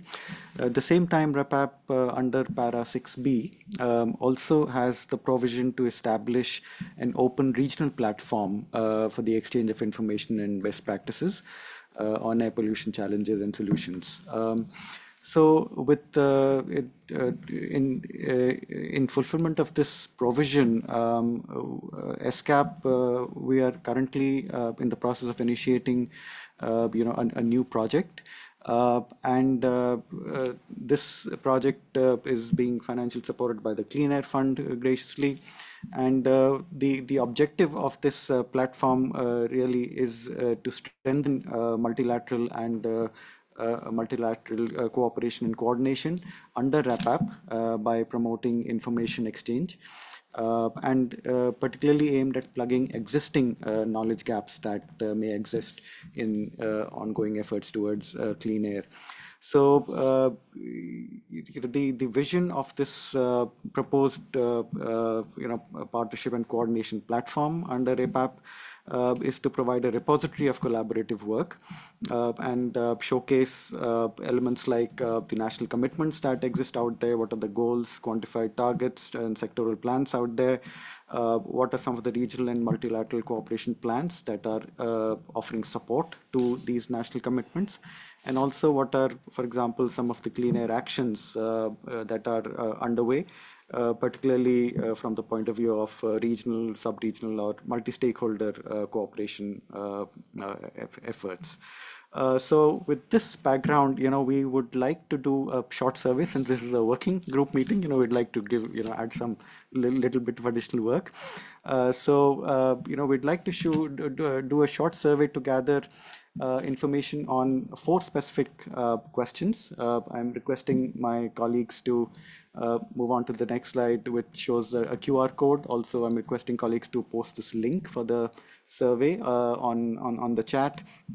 Uh, the uh, idea is, uh, you know, rather than a Mentimeter poll, you know, to do uh, a, a, forms survey, which can, uh, you know, collect some um, qualitative data as well. And just in case, you know, although I think we can take a few minutes, let's say for five minutes to fill up the form, in case you need additional time to consider all the options, you know, you would have the opportunity to even submit this after the, the end of the meeting, hopefully today. So uh, if you access the form, uh, I would request uh, participants to please uh, scan uh, the, the, the, code or to visit the link. Uh, you'll find four short questions that, that are there, which are you know, seeking information on what you perceive as the most important information or knowledge gaps constraining regional or transboundary cooperation on air pollution. Uh, that's one. You'll, you'll see a set of uh, choices that, uh, you know, out of which we request you to pick the top three uh, from your perspective. Uh, another question is about, uh, you know, what functions in the platform you think would be most useful for promoting, for building regional cooperation and partnerships and clean air. Uh, also, a couple of, of, other questions. For example, what information sources you uh, currently uh, visit more often, uh, and you know they could serve as great uh, you know references for us to, as as we proceed with the development of this platform. And finally, any other thoughts and suggestions that you may have uh, for uh, for us for uh, building a strong uh, RAPAP partnership and coordination platform. So this is, uh, uh, you know, the, the quick ask from you. So maybe we could pause for uh, four to five minutes, uh, Matthew, if you have time, and then, you know, hopefully we can collect uh, responses. But uh, just in case you feel you need more time, please feel free to also fill it in or complete the submission after the, the meeting, but hopefully by, by the end of the day today. So maybe we'll we'll pause here at this point. So we'll uh, resume further at 3:40.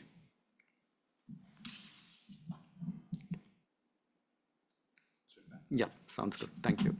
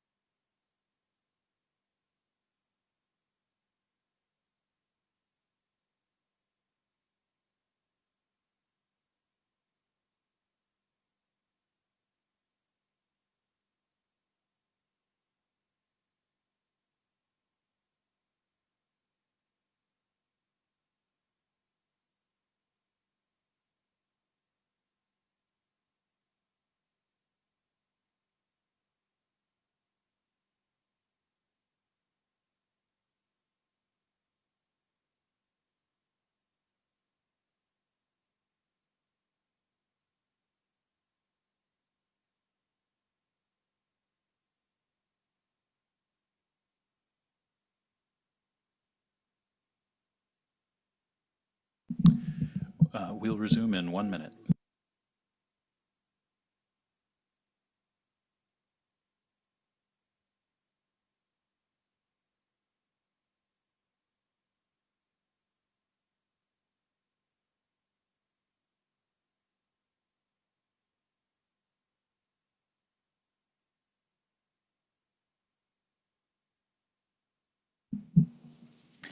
Okay, thanks very much for giving your reflections on what the ESCAP platform should look like. We'll uh, give due consideration to all of these inputs uh, in coordination with our UNEP colleagues so that both platforms can uh, go forward in a holistic manner. So that being said, we would like to get to the plenary section of the working group on data as quickly as possible. Uh, in this regard, I think we've all uh, um, gone through our learning curve with Mentimeter. So for the upcoming questions, we'd like to give one minute per question. Uh, we should therefore conclude the quantitative portion of this uh, session of the plenary within about 10, 12 minutes. Uh, and then we're over to our speakers list. uh, and then open floor. So with that being said, we've got the, the link and the QR code here. So I'll turn the time over to uh, my colleague Kelly to walk us through the uh, Mentimeter prompts uh, and, uh, and get to our speakers list. Kelly, take it away. Thanks, Matthew. Um, yeah, as, as Matthew said, uh, we will go through it a little bit more quickly this time. Um, the Mentimeter link is in the chat if you got uh, had a problem um, uh, reconnecting after the last the last session or something. Uh, but otherwise, we will start on uh, the first item, the scope, and this is to do with the working um, the working group on data. So the first item we're going to look at is in parallel with in parallel to national air quality index practices, provide recommendations for regional reconciliation, um, harmonisation into an approach which can be used in a transboundary context and establish a consensus criteria for reported data sharing uh, approaches. So that is the general scope that what we're dealing with here, which is related to enhancing international cooperation among monitoring networks and air pollution observatories, utilizing uh, remote sensing and ground monitoring stations. In that regard, can we move to the first point? And you might want to add some thoughts of what should be included in that scope. So in parallel to national air quality index approaches, um, what provide recommendations for regional harmonization into an approach which can be used for transboundary uh, in a transboundary context for data. If you just want to add in some comments or some points, thoughts.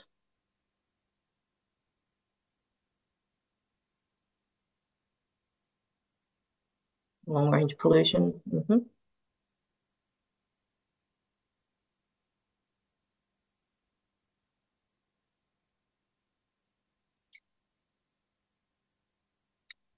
Um, so what kind of data sharing approaches would be uh, valuable in this regard? Mm -hmm.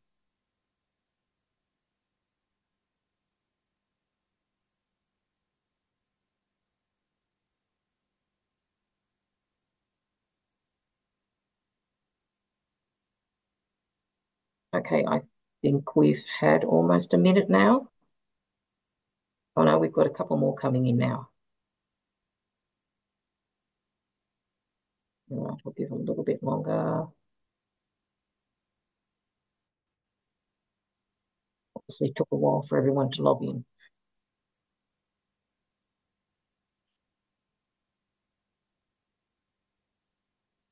Mm -hmm. Open data, very important, that one. Okay, perhaps we can move to the next slide or where we will, where you can, of course, um, vote.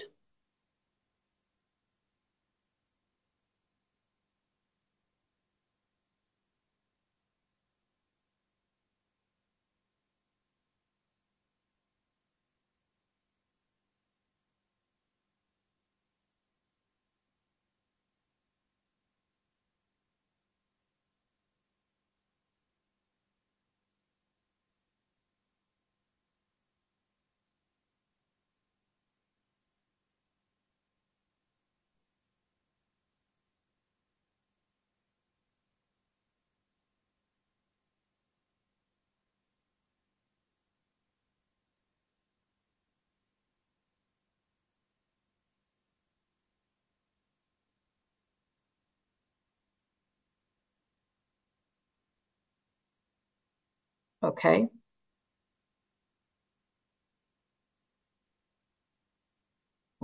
Quality of source apportionment, availability of trends in air quality measuring processes.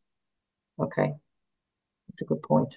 Okay, so if we can move on to the next slide, which is what items don't you want included in this?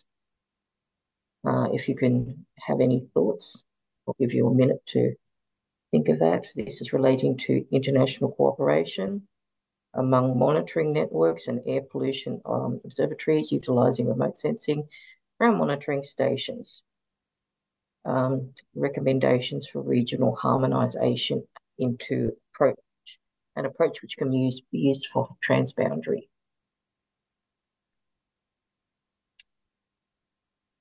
If anyone has any ideas that they don't want covered.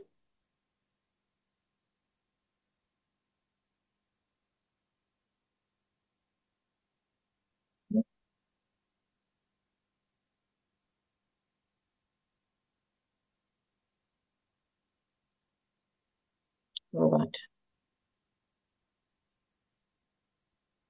I think it's, oh no, we do have a. Okay. Okay. In case there's any others, um, I don't think there will be, so we can move on to the voting page, but there's only one thing to vote on, so. Yeah, I think in this case, we can skip the voting. One candidate.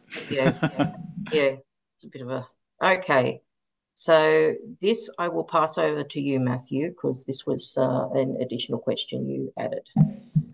Thanks. Yes, just with re- reference to my earlier remarks, this is our effort to try to put a sense of uh, low, medium, and high in terms of the level of sophistication of a data sharing uh, platform and, and what that should include. If it should just be a, a file repository, what you see is what you get, uh, some level of validation and metadata, or something that is sophisticated in providing analysis and conclusions and links to policy and, and all of that sort of thing. So uh, if your UN fairy godmother visited you in the night and gave you one wish, which one of these would it be?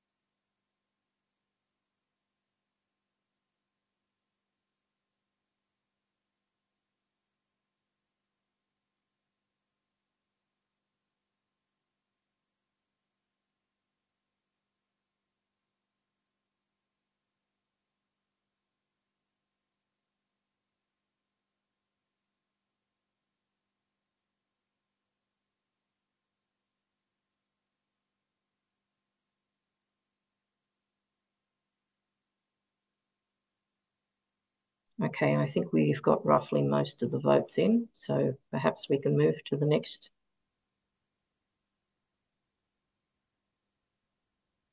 Mhm. Okay, so um, criteria for data sharing to be prioritized. So um, reporting direct measurement of pollutants, station-specific coordinates, um, timely fine-scale temporal information, programmatic access, all equally necessary. Okay, that's fair. Give you a few more seconds in case anyone wants to, to add.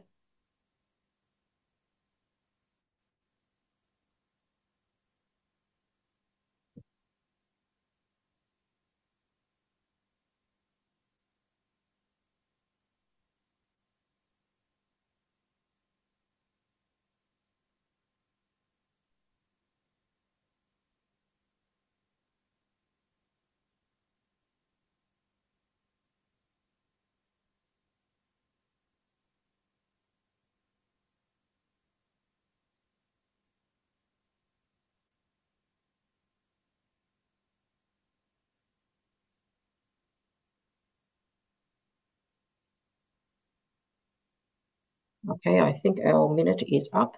Thank you very much.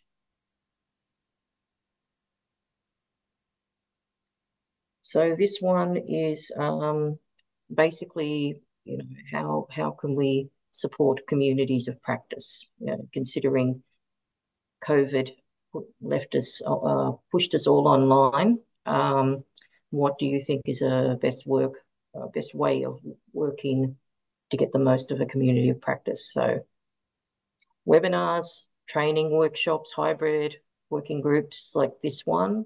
Um, expert group meetings tend to be more uh, in-person, research symposiums, online in-person conferences.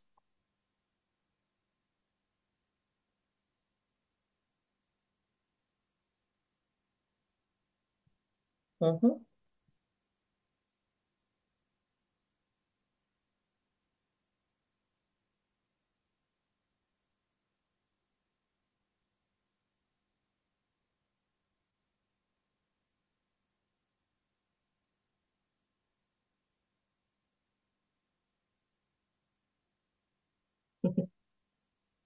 Okay, everyone's tired of online meetings. It looks like.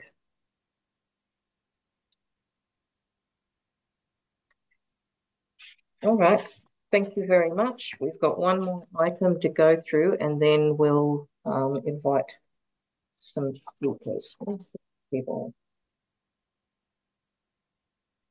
Okay, final scope. With reference to the functions identified in item one and in view of the existing efforts, and we've heard some of those efforts so far in some of the presentations from um, different agencies. Should ESCAP develop a digital platform for sharing open air quality monitoring data, etc.? This one's a pretty specific um, uh, scope or question for you. So, um, perhaps the next slide is if you could give some ideas of what you would like to see. Should we have something? Should we use another agency?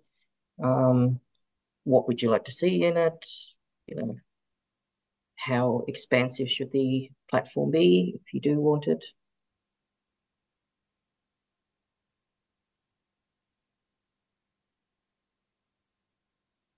Okay.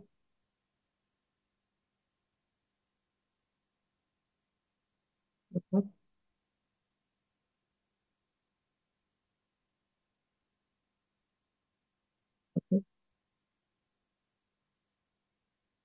It's a good point.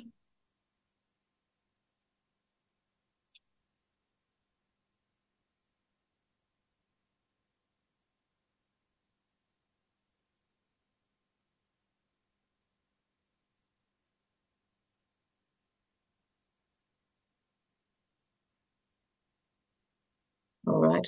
See the responses have dwindled a little bit. Oh no.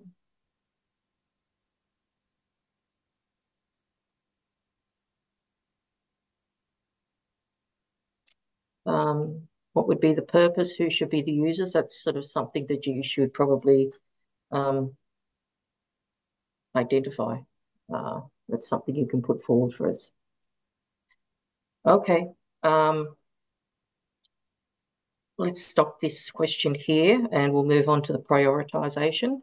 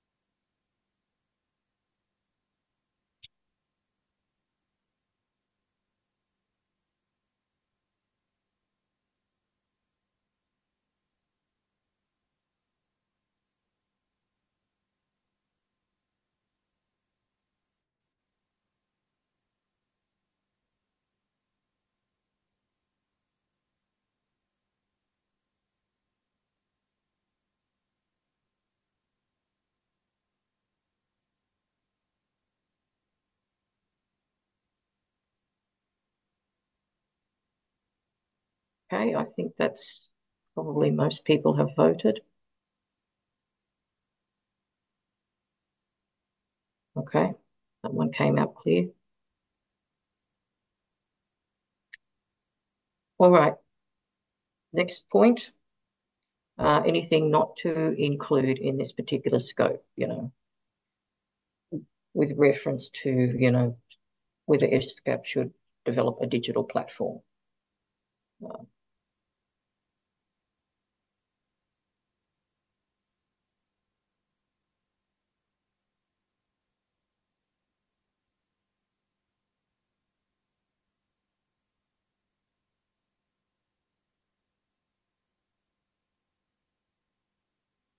So you don't think that direct data collection should be included?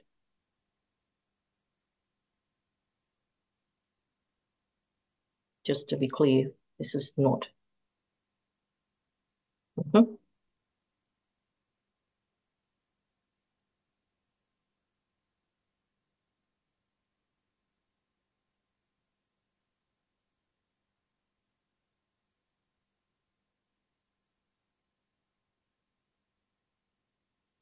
Mhm. That's fair.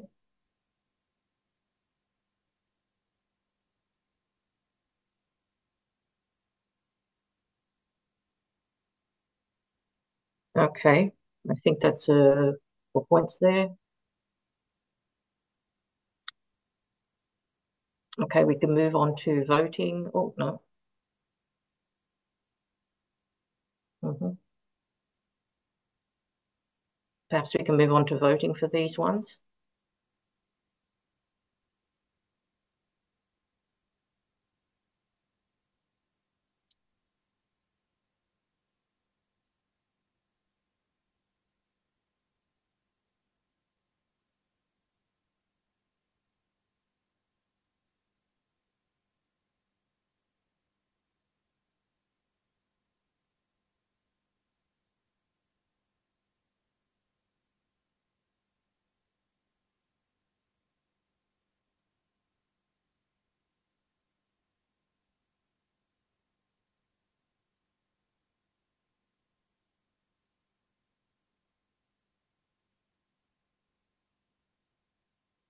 Okay, I think we can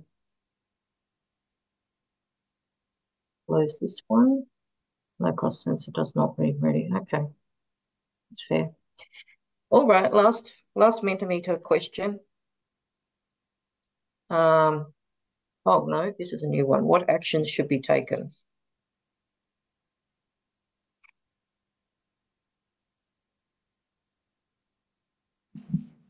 Just to contextualize, this is uh, in response to, uh, we want to give an open-ended opportunity for participants to express uh, freely what they would like to see ESCAP do in a platform construction for open data specifically. Okay, so we'll give you a minute or something to add some comments in there.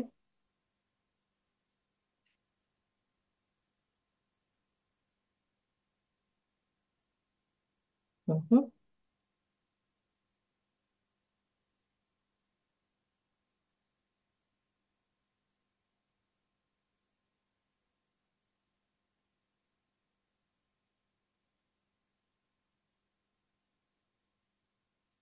Um,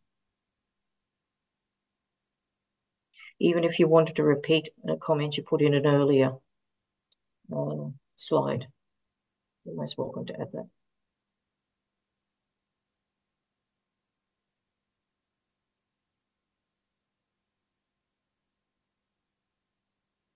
Mhm.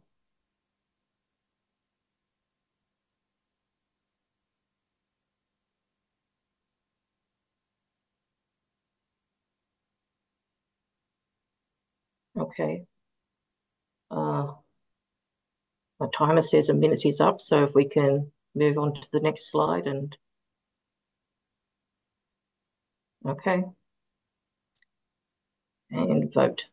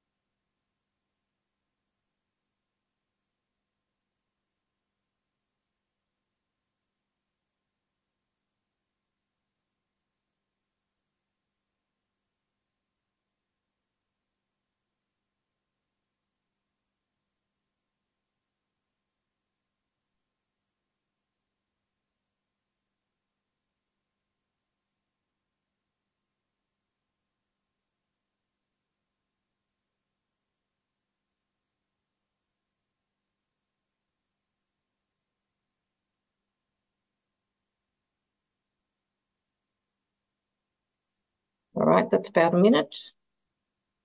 Thank you very much, everyone. Okay. That's some good, very good inputs there. Thank you very much.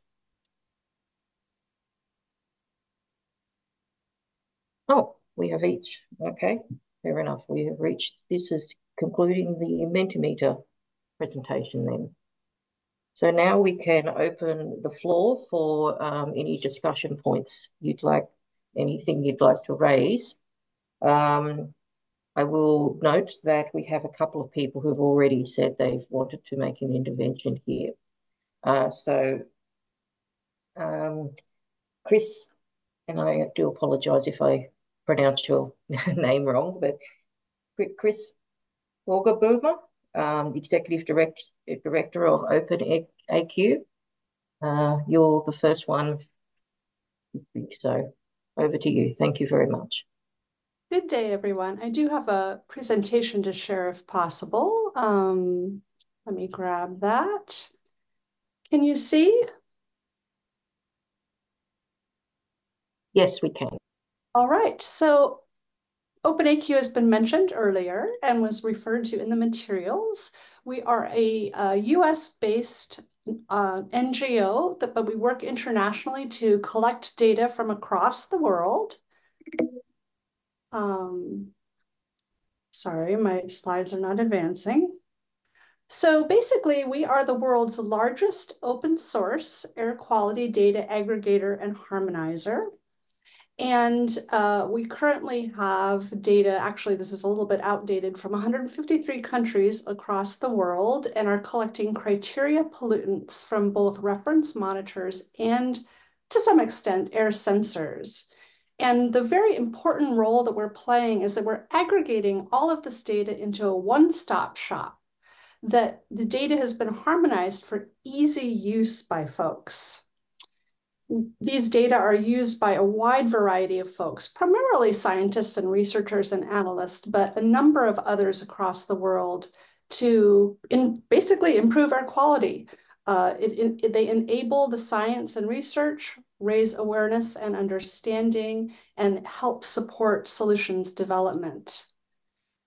We not only are a data aggregator, but we're working to build tools that help people access and use the data, even if they're less technically savvy. We also upskill uh, folks, uh, young professionals around the world. This was our most recent community ambassador program. You see several folks from the Asia Pacific area.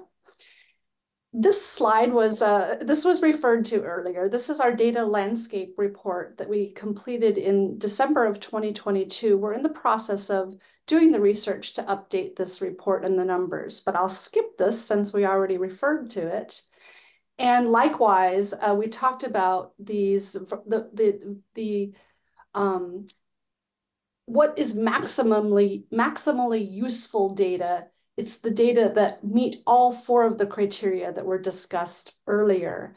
When we looked worldwide, we found that um, evidence of only 40% uh, of countries worldwide even monitoring for air quality.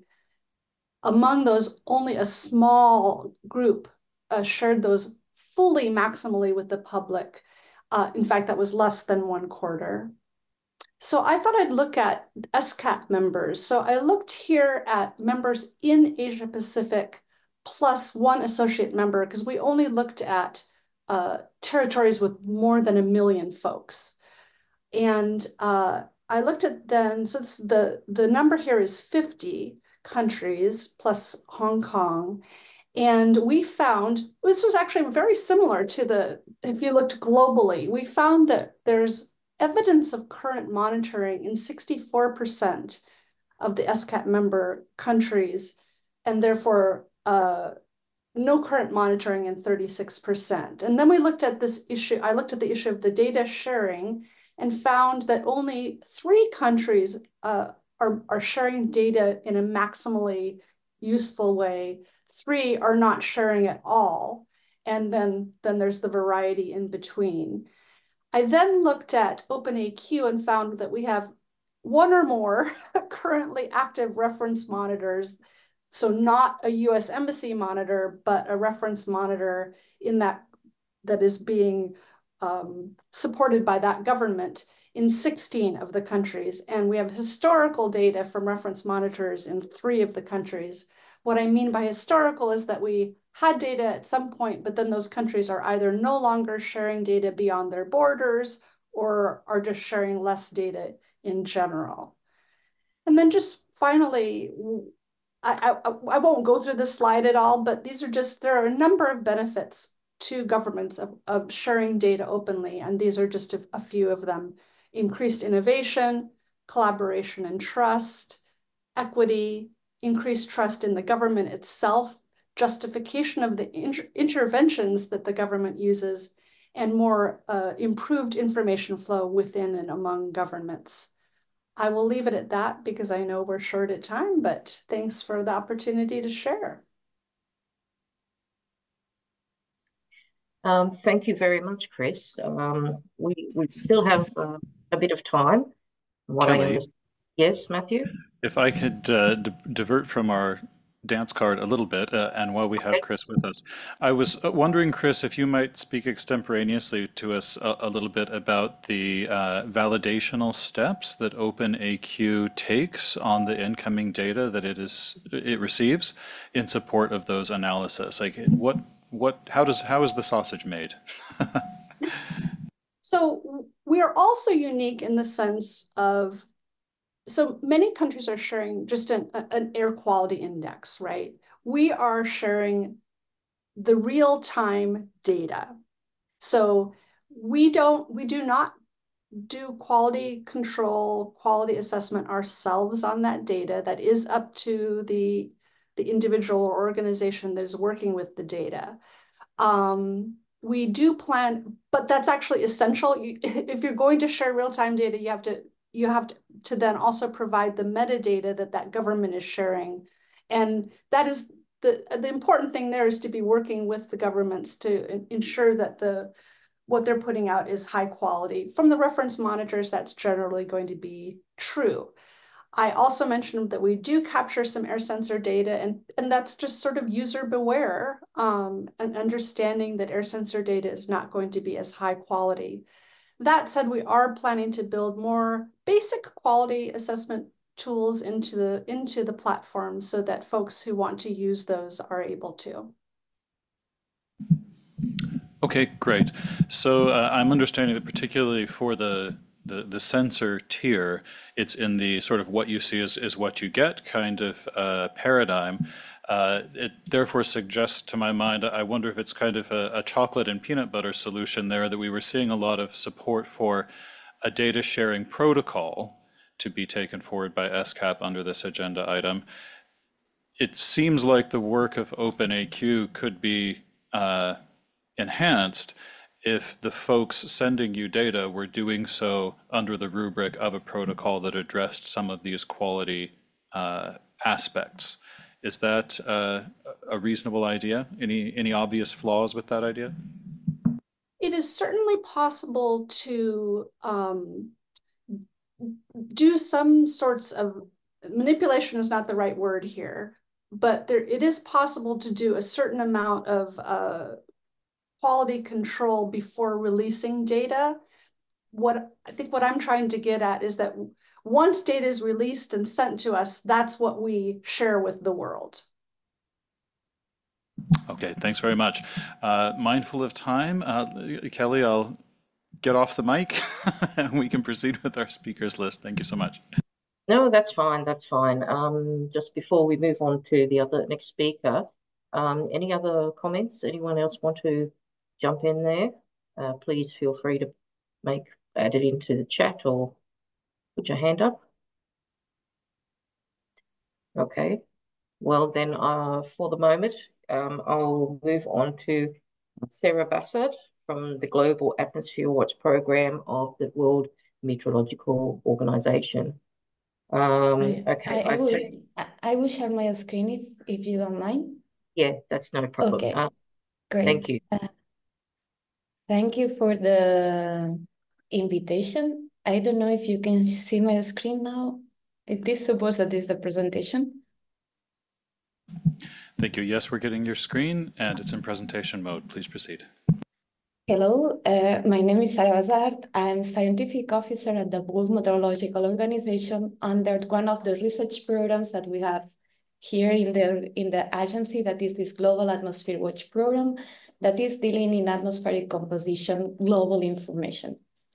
Basically, the GAW research program is trying to work for enable atmospheric composition services and is based on the partnership of more than 100 countries, including con many contributions from research community and universities and academia.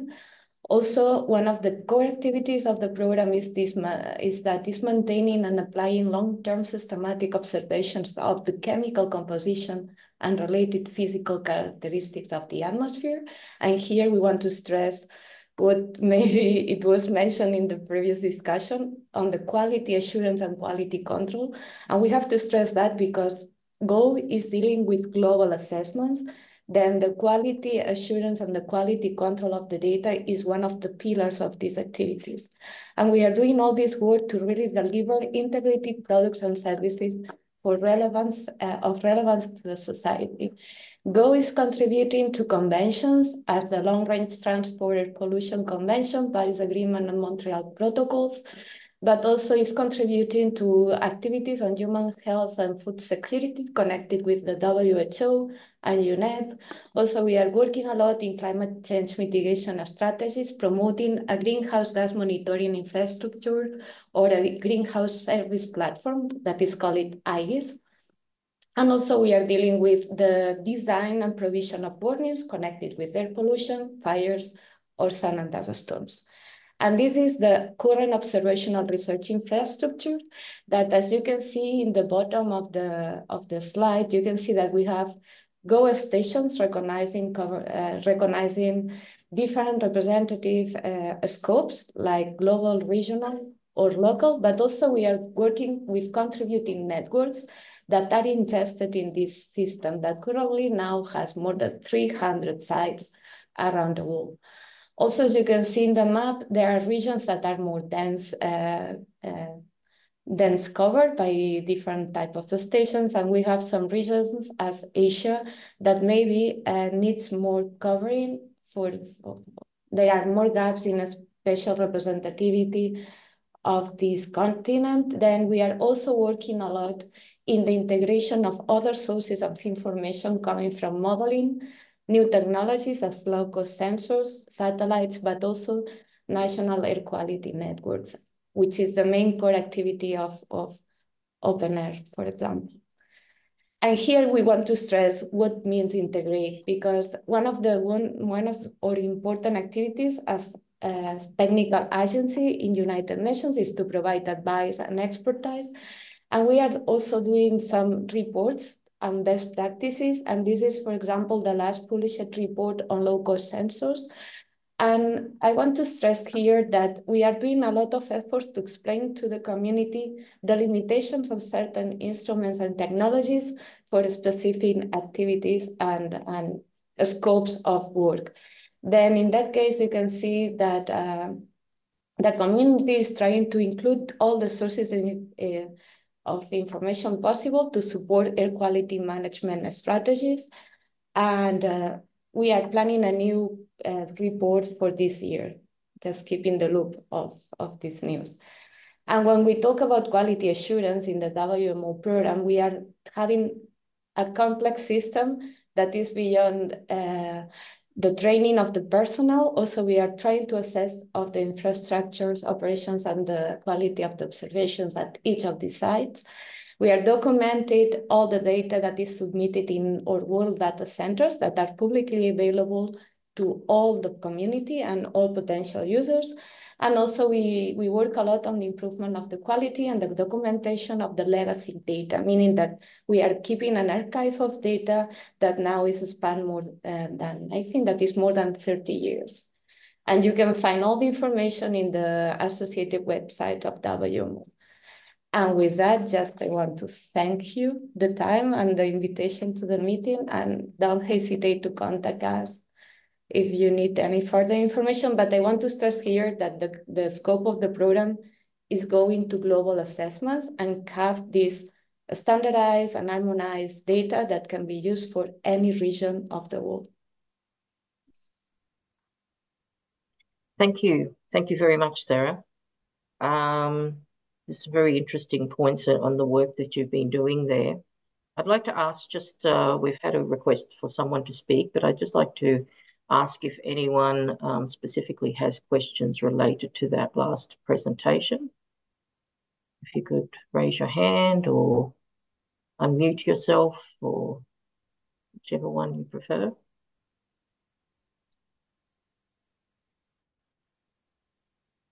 Okay. No, I think uh, I think we're all quiet here. But um, it's it's good to know there's so many other different initiatives and things that would possibly sort of, you know, work together quite well, um, available.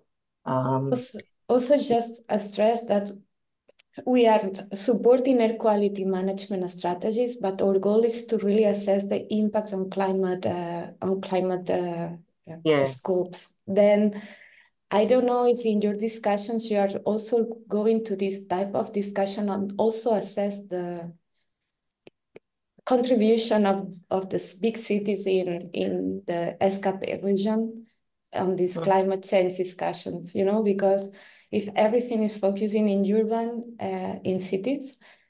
Sometimes we are missing also these regional and global assessments that are needed for different purposes, also connected with air pollution sometimes.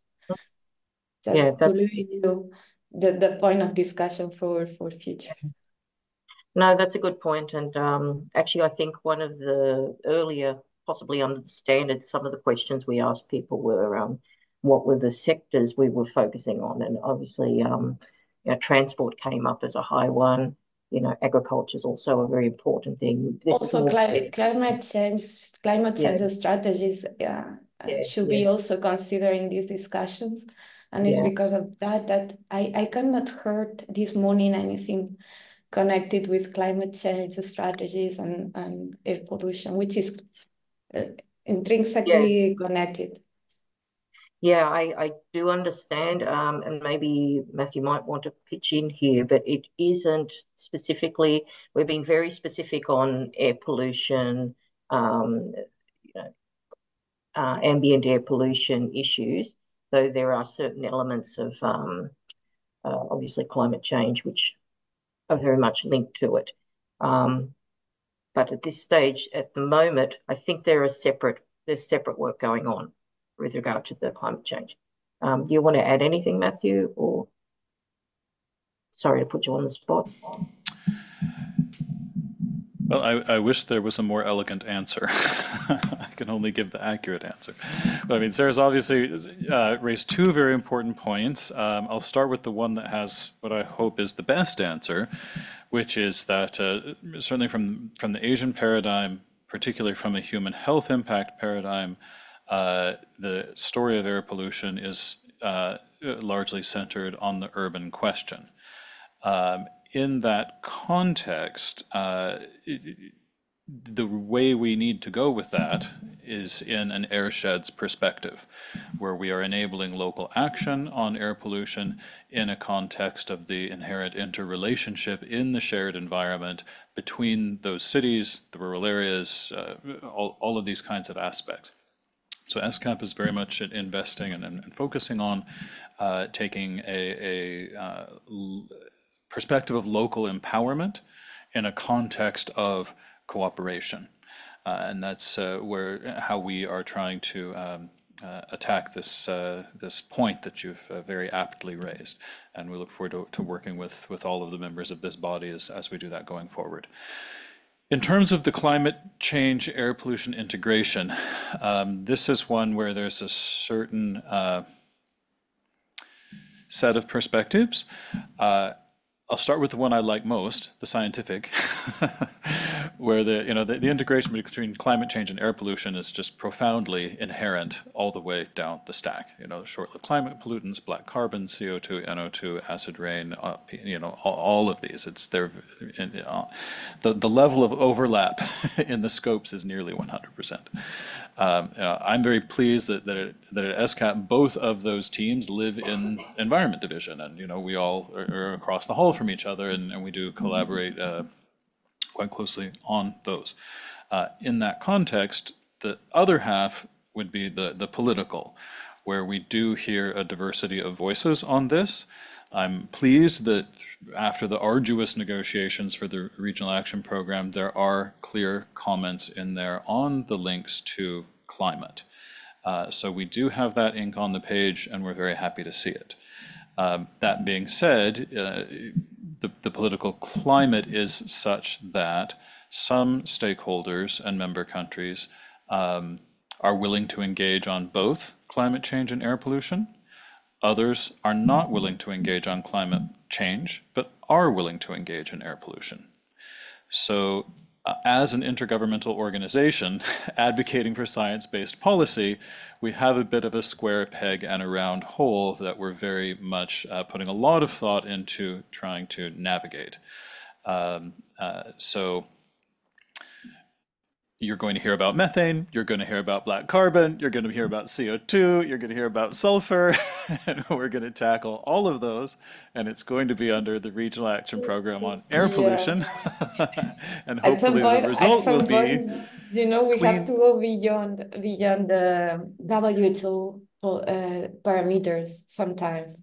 Then this is the comment that uh, sometimes in this, if you want to build a, a strategy for future, maybe it's good that you consider a broad picture beyond the five pollutants or six, if you think in particular matters too, that are currently in the WHO guidelines, because there are more things, as you said.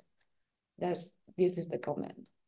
Yeah. So, uh, to the best of my knowledge, this is uh, uh, the the end of our uh, written list of speakers. Although I note that uh, the HEI is is up next, so I'll use this opportunity to make a brief housekeeping announcement. In that, we encourage all members of the working group to also take advantage to send us any written feedback which they may have, uh, and either track changes on the guidance document or emails or you can call me at my desk, whatever you want to do, for the next two weeks, at which point we will need to uh, put a hold on further inputs as we create the next draft of the policy brief that will be coming back to all of you for review. So if anyone out there would like to write me a memo on how to untangle this aspect, it will receive, as the member countries like to say, the fullest consideration. so with that being said, I'll close my mic and I think we have a, a Pallavi next, is it? Yes. Thank you very much, Sarah. Um, so moving moving to the health aspect, I believe, uh, Pallavi Pant from the um, Health Effects Institute. Um, you had a few comments you'd like to add. Um, please, you'll join, take the floor. Um, thank you very much. Yeah, I just wanted to add two points to the discussion. I think the, the first one is just to re-emphasize um, the importance of including metadata and you know whatever work that ESCAP is going to do with countries, especially in providing guidance to the extent that that can be encouraged and standardized, it would help not only in sharing of the data more broadly, but also when we start thinking about applications in the context of health in particular, those types of um, information are really relevant in deciding what data um, and from where do we use for any kind of health studies or health impact assessment. So I would strongly urge ESCAP to consider how um, improved metadata practices can be um, encouraged across countries.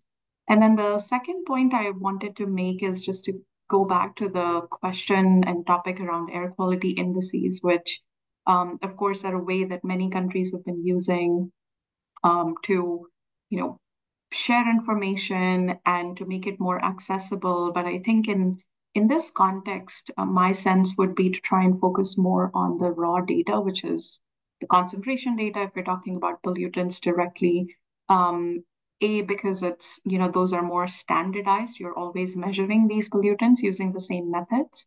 Um, so the numbers will be broadly comparable if you're looking at monitoring stations in one country versus the other. And then um, second, in you know some instances when there where there is hesitation to share data, um, countries can resort to sharing AQI type information, which is not as helpful if you're trying to do health studies or um, you know policy impact analysis, etc. So again, from the point of view of application of some sort of harmonized data, keeping the emphasis on the concentration and raw data would be really helpful.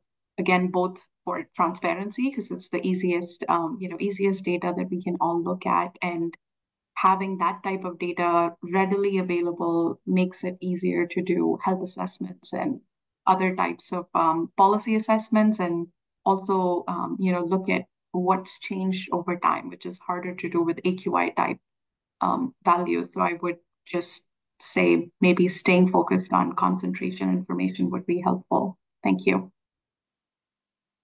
Thank you. Um, it's some very valid points actually for, um, uh, yeah, particularly for research, you really do need a lot of detail background. So, um, yeah, it's something to be considered when looking at platforms. Uh, other platforms maybe doing, uh, you know, more technical sort of uh, work which can support this. How can we share sort of this technical, uh, the metadata, etc. You know, what, what's existing there at the moment. Um, I wanted to just make a, uh, add or read out a comment um, to from Patrick Buka, I believe. Um, my impression is that international funding, including, for example, Germany, is increasingly focusing on the links between air pollution abatement and climate change mitigation so to only focus on air pollution is potentially limiting funding opportunities. That's a very good um, point. Um, you know, I think we did mention that, yeah, there are, there are, uh, Matthew was mentioning, there are reasons where we're just focusing on the air pollution side at the moment, but it's very much linked with the climate change side, and there's work going on on, on that side as well. Um, yeah, that's something to consider, though. Another one, I agree with Pala, oh, sorry, from the Stockholm Environment Institute. I agree with Pallavi, make sure raw data uh, is reported, difficult to use or access air quality values. Yes, that is very true. Um, for research publications, etc., you really do need a lot of background document uh, data. So there is a important thing to come out there. Would anyone else like to take the floor, um, throw, add some comments in, um, you know, add, add something into the chat? Uh, there's a hand up. Nathan. Yes, please. Good afternoon, good morning, all. Um, I, Matthew, I'm not sure I'm in a position to write you a memo in the next couple of um, weeks that would uh, be transformative in any way. But I, I, I do want to um, throw my weight behind what, what Sarah was mentioning, and I think it's a, an ambition that we all have. Um, understanding, you know, we, we on the UNEP side understand just as well, um, you guys on the ESCAP side, the political realities of what we're grappling with. Um, and, and I think you, you said very very very well sort of what the what the scientific perspective is on this but I, I i, think i mean the reason i raised my hand here today is to give a little bit more perspective right now there are quite a few international bodies on both sides of the uh, the one atmosphere um, ecosystem that are grappling with this issue of how to what of the politics more than anything of integrating climate and clean air you've got the LRTAP community actively talking now about uh, potentially amending the Gothenburg uh, Protocol uh, to include methane. You have the IPCC community, their task force on inventories there in the Asia Pacific region, talking about um, how what the scope of this new uh, this the new guidelines that they're going to develop on SLCF inventories will be, and whether or not PM 2.5 itself should be covered in those guidelines.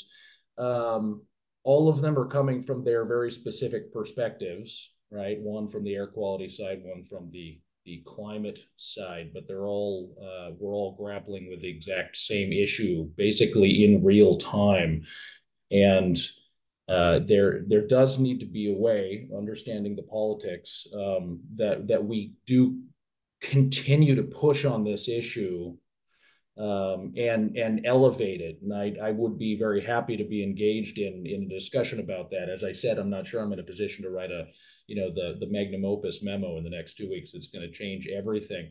But but but all of these pieces are moving hopefully slowly one step at a time forward right and and it would be i think a disservice if if ESCAP was not also you know, out or uh, the RAPAP was not also out front uh, showing that it was moving in a stepwise fashion in that direction as well with with the rest of them, and maybe together as a community um, we can, um, you know, make make uh, stepwise progress forward. Um, I, I, mean, I know that's that's that's front of mind for you, but but it is worth.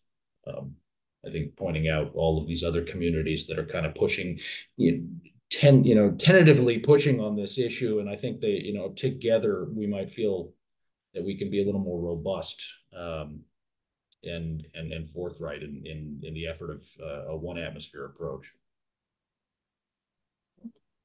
Yeah, thank you for that, Nathan. That's a that's some very good points there. Matthew, did you want to say something? Yeah, absolutely. Uh, yeah, th thanks, Nathan, and, and well noted. I, I think we've uh, pulled this audience to death. I appreciate all of your patiences. Uh, but a thought is, is occurring to me in the context of this particular exchange that I wonder if we have space under the Amplifying Communities of Practice uh, recommendation that has been selected as a priority to take forward if we included in that analysis the recommendation that uh, amplifying the communities of practice on air pollution should include amplifying the communities of practice on climate change and, and synergizing and harmonizing between those two groups. Um, I'd like to, to ask uh, could you please put that as a chat? Just type that idea in the that amplifying both communities of practice. And then anyone in the working group who agrees with that as a path forward, if you just put a like on that comment, would help us get the temperature of the room if we should be putting some more thinking into bringing those communities together under that priority. Uh, so I'll just close there. I see we have some further re requests to take the floor. So back to you, Kelly. Uh, yes. Uh, sorry, do we have a hand up or we've got um, Mr. Amir? See your camera is on. So would you like to say something? Um, support that. Do we have any, you're welcome to just sort of um, take the floor if you have to, if you'd like to add something else to the discussion.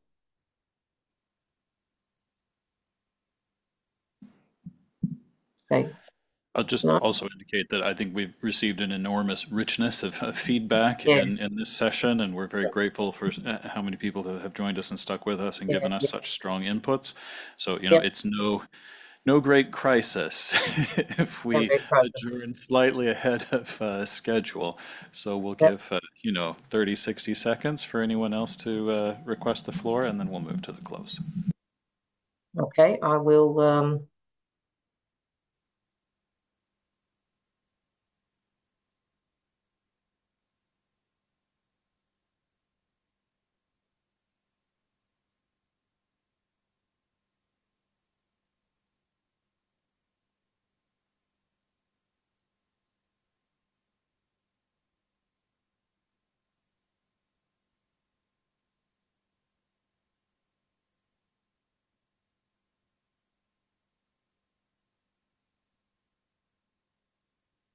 Um, I see a hand going up, Mr. Amir Abbas Mohammed. Are you actually wanting to take the floor?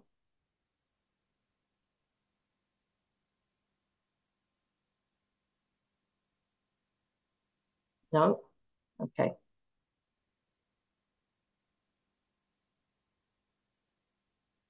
Okay, well, I think we're um, we've exhausted ourselves, so perhaps uh, you know we can move to just summarizing and, and taking forward some recommendations. As Matthew mentioned, please write to us, um, contact us with any additional points. Um, there is a lot going on uh, globally, regionally, um, with, with some of this. So the more we can avoid duplication or um, specialize kind of uh, something for the Asia Pacific region, um, uh, the better, obviously. So please, um, in the next couple of weeks, uh, we, we more than welcome your input, particularly from our country participants as well. Um, yeah. So on that note, though, I will pass the microphone back to Matthew. And thank you very much, everyone who joined in the conversation and voted um, tonight. I do appreciate that. Thank you.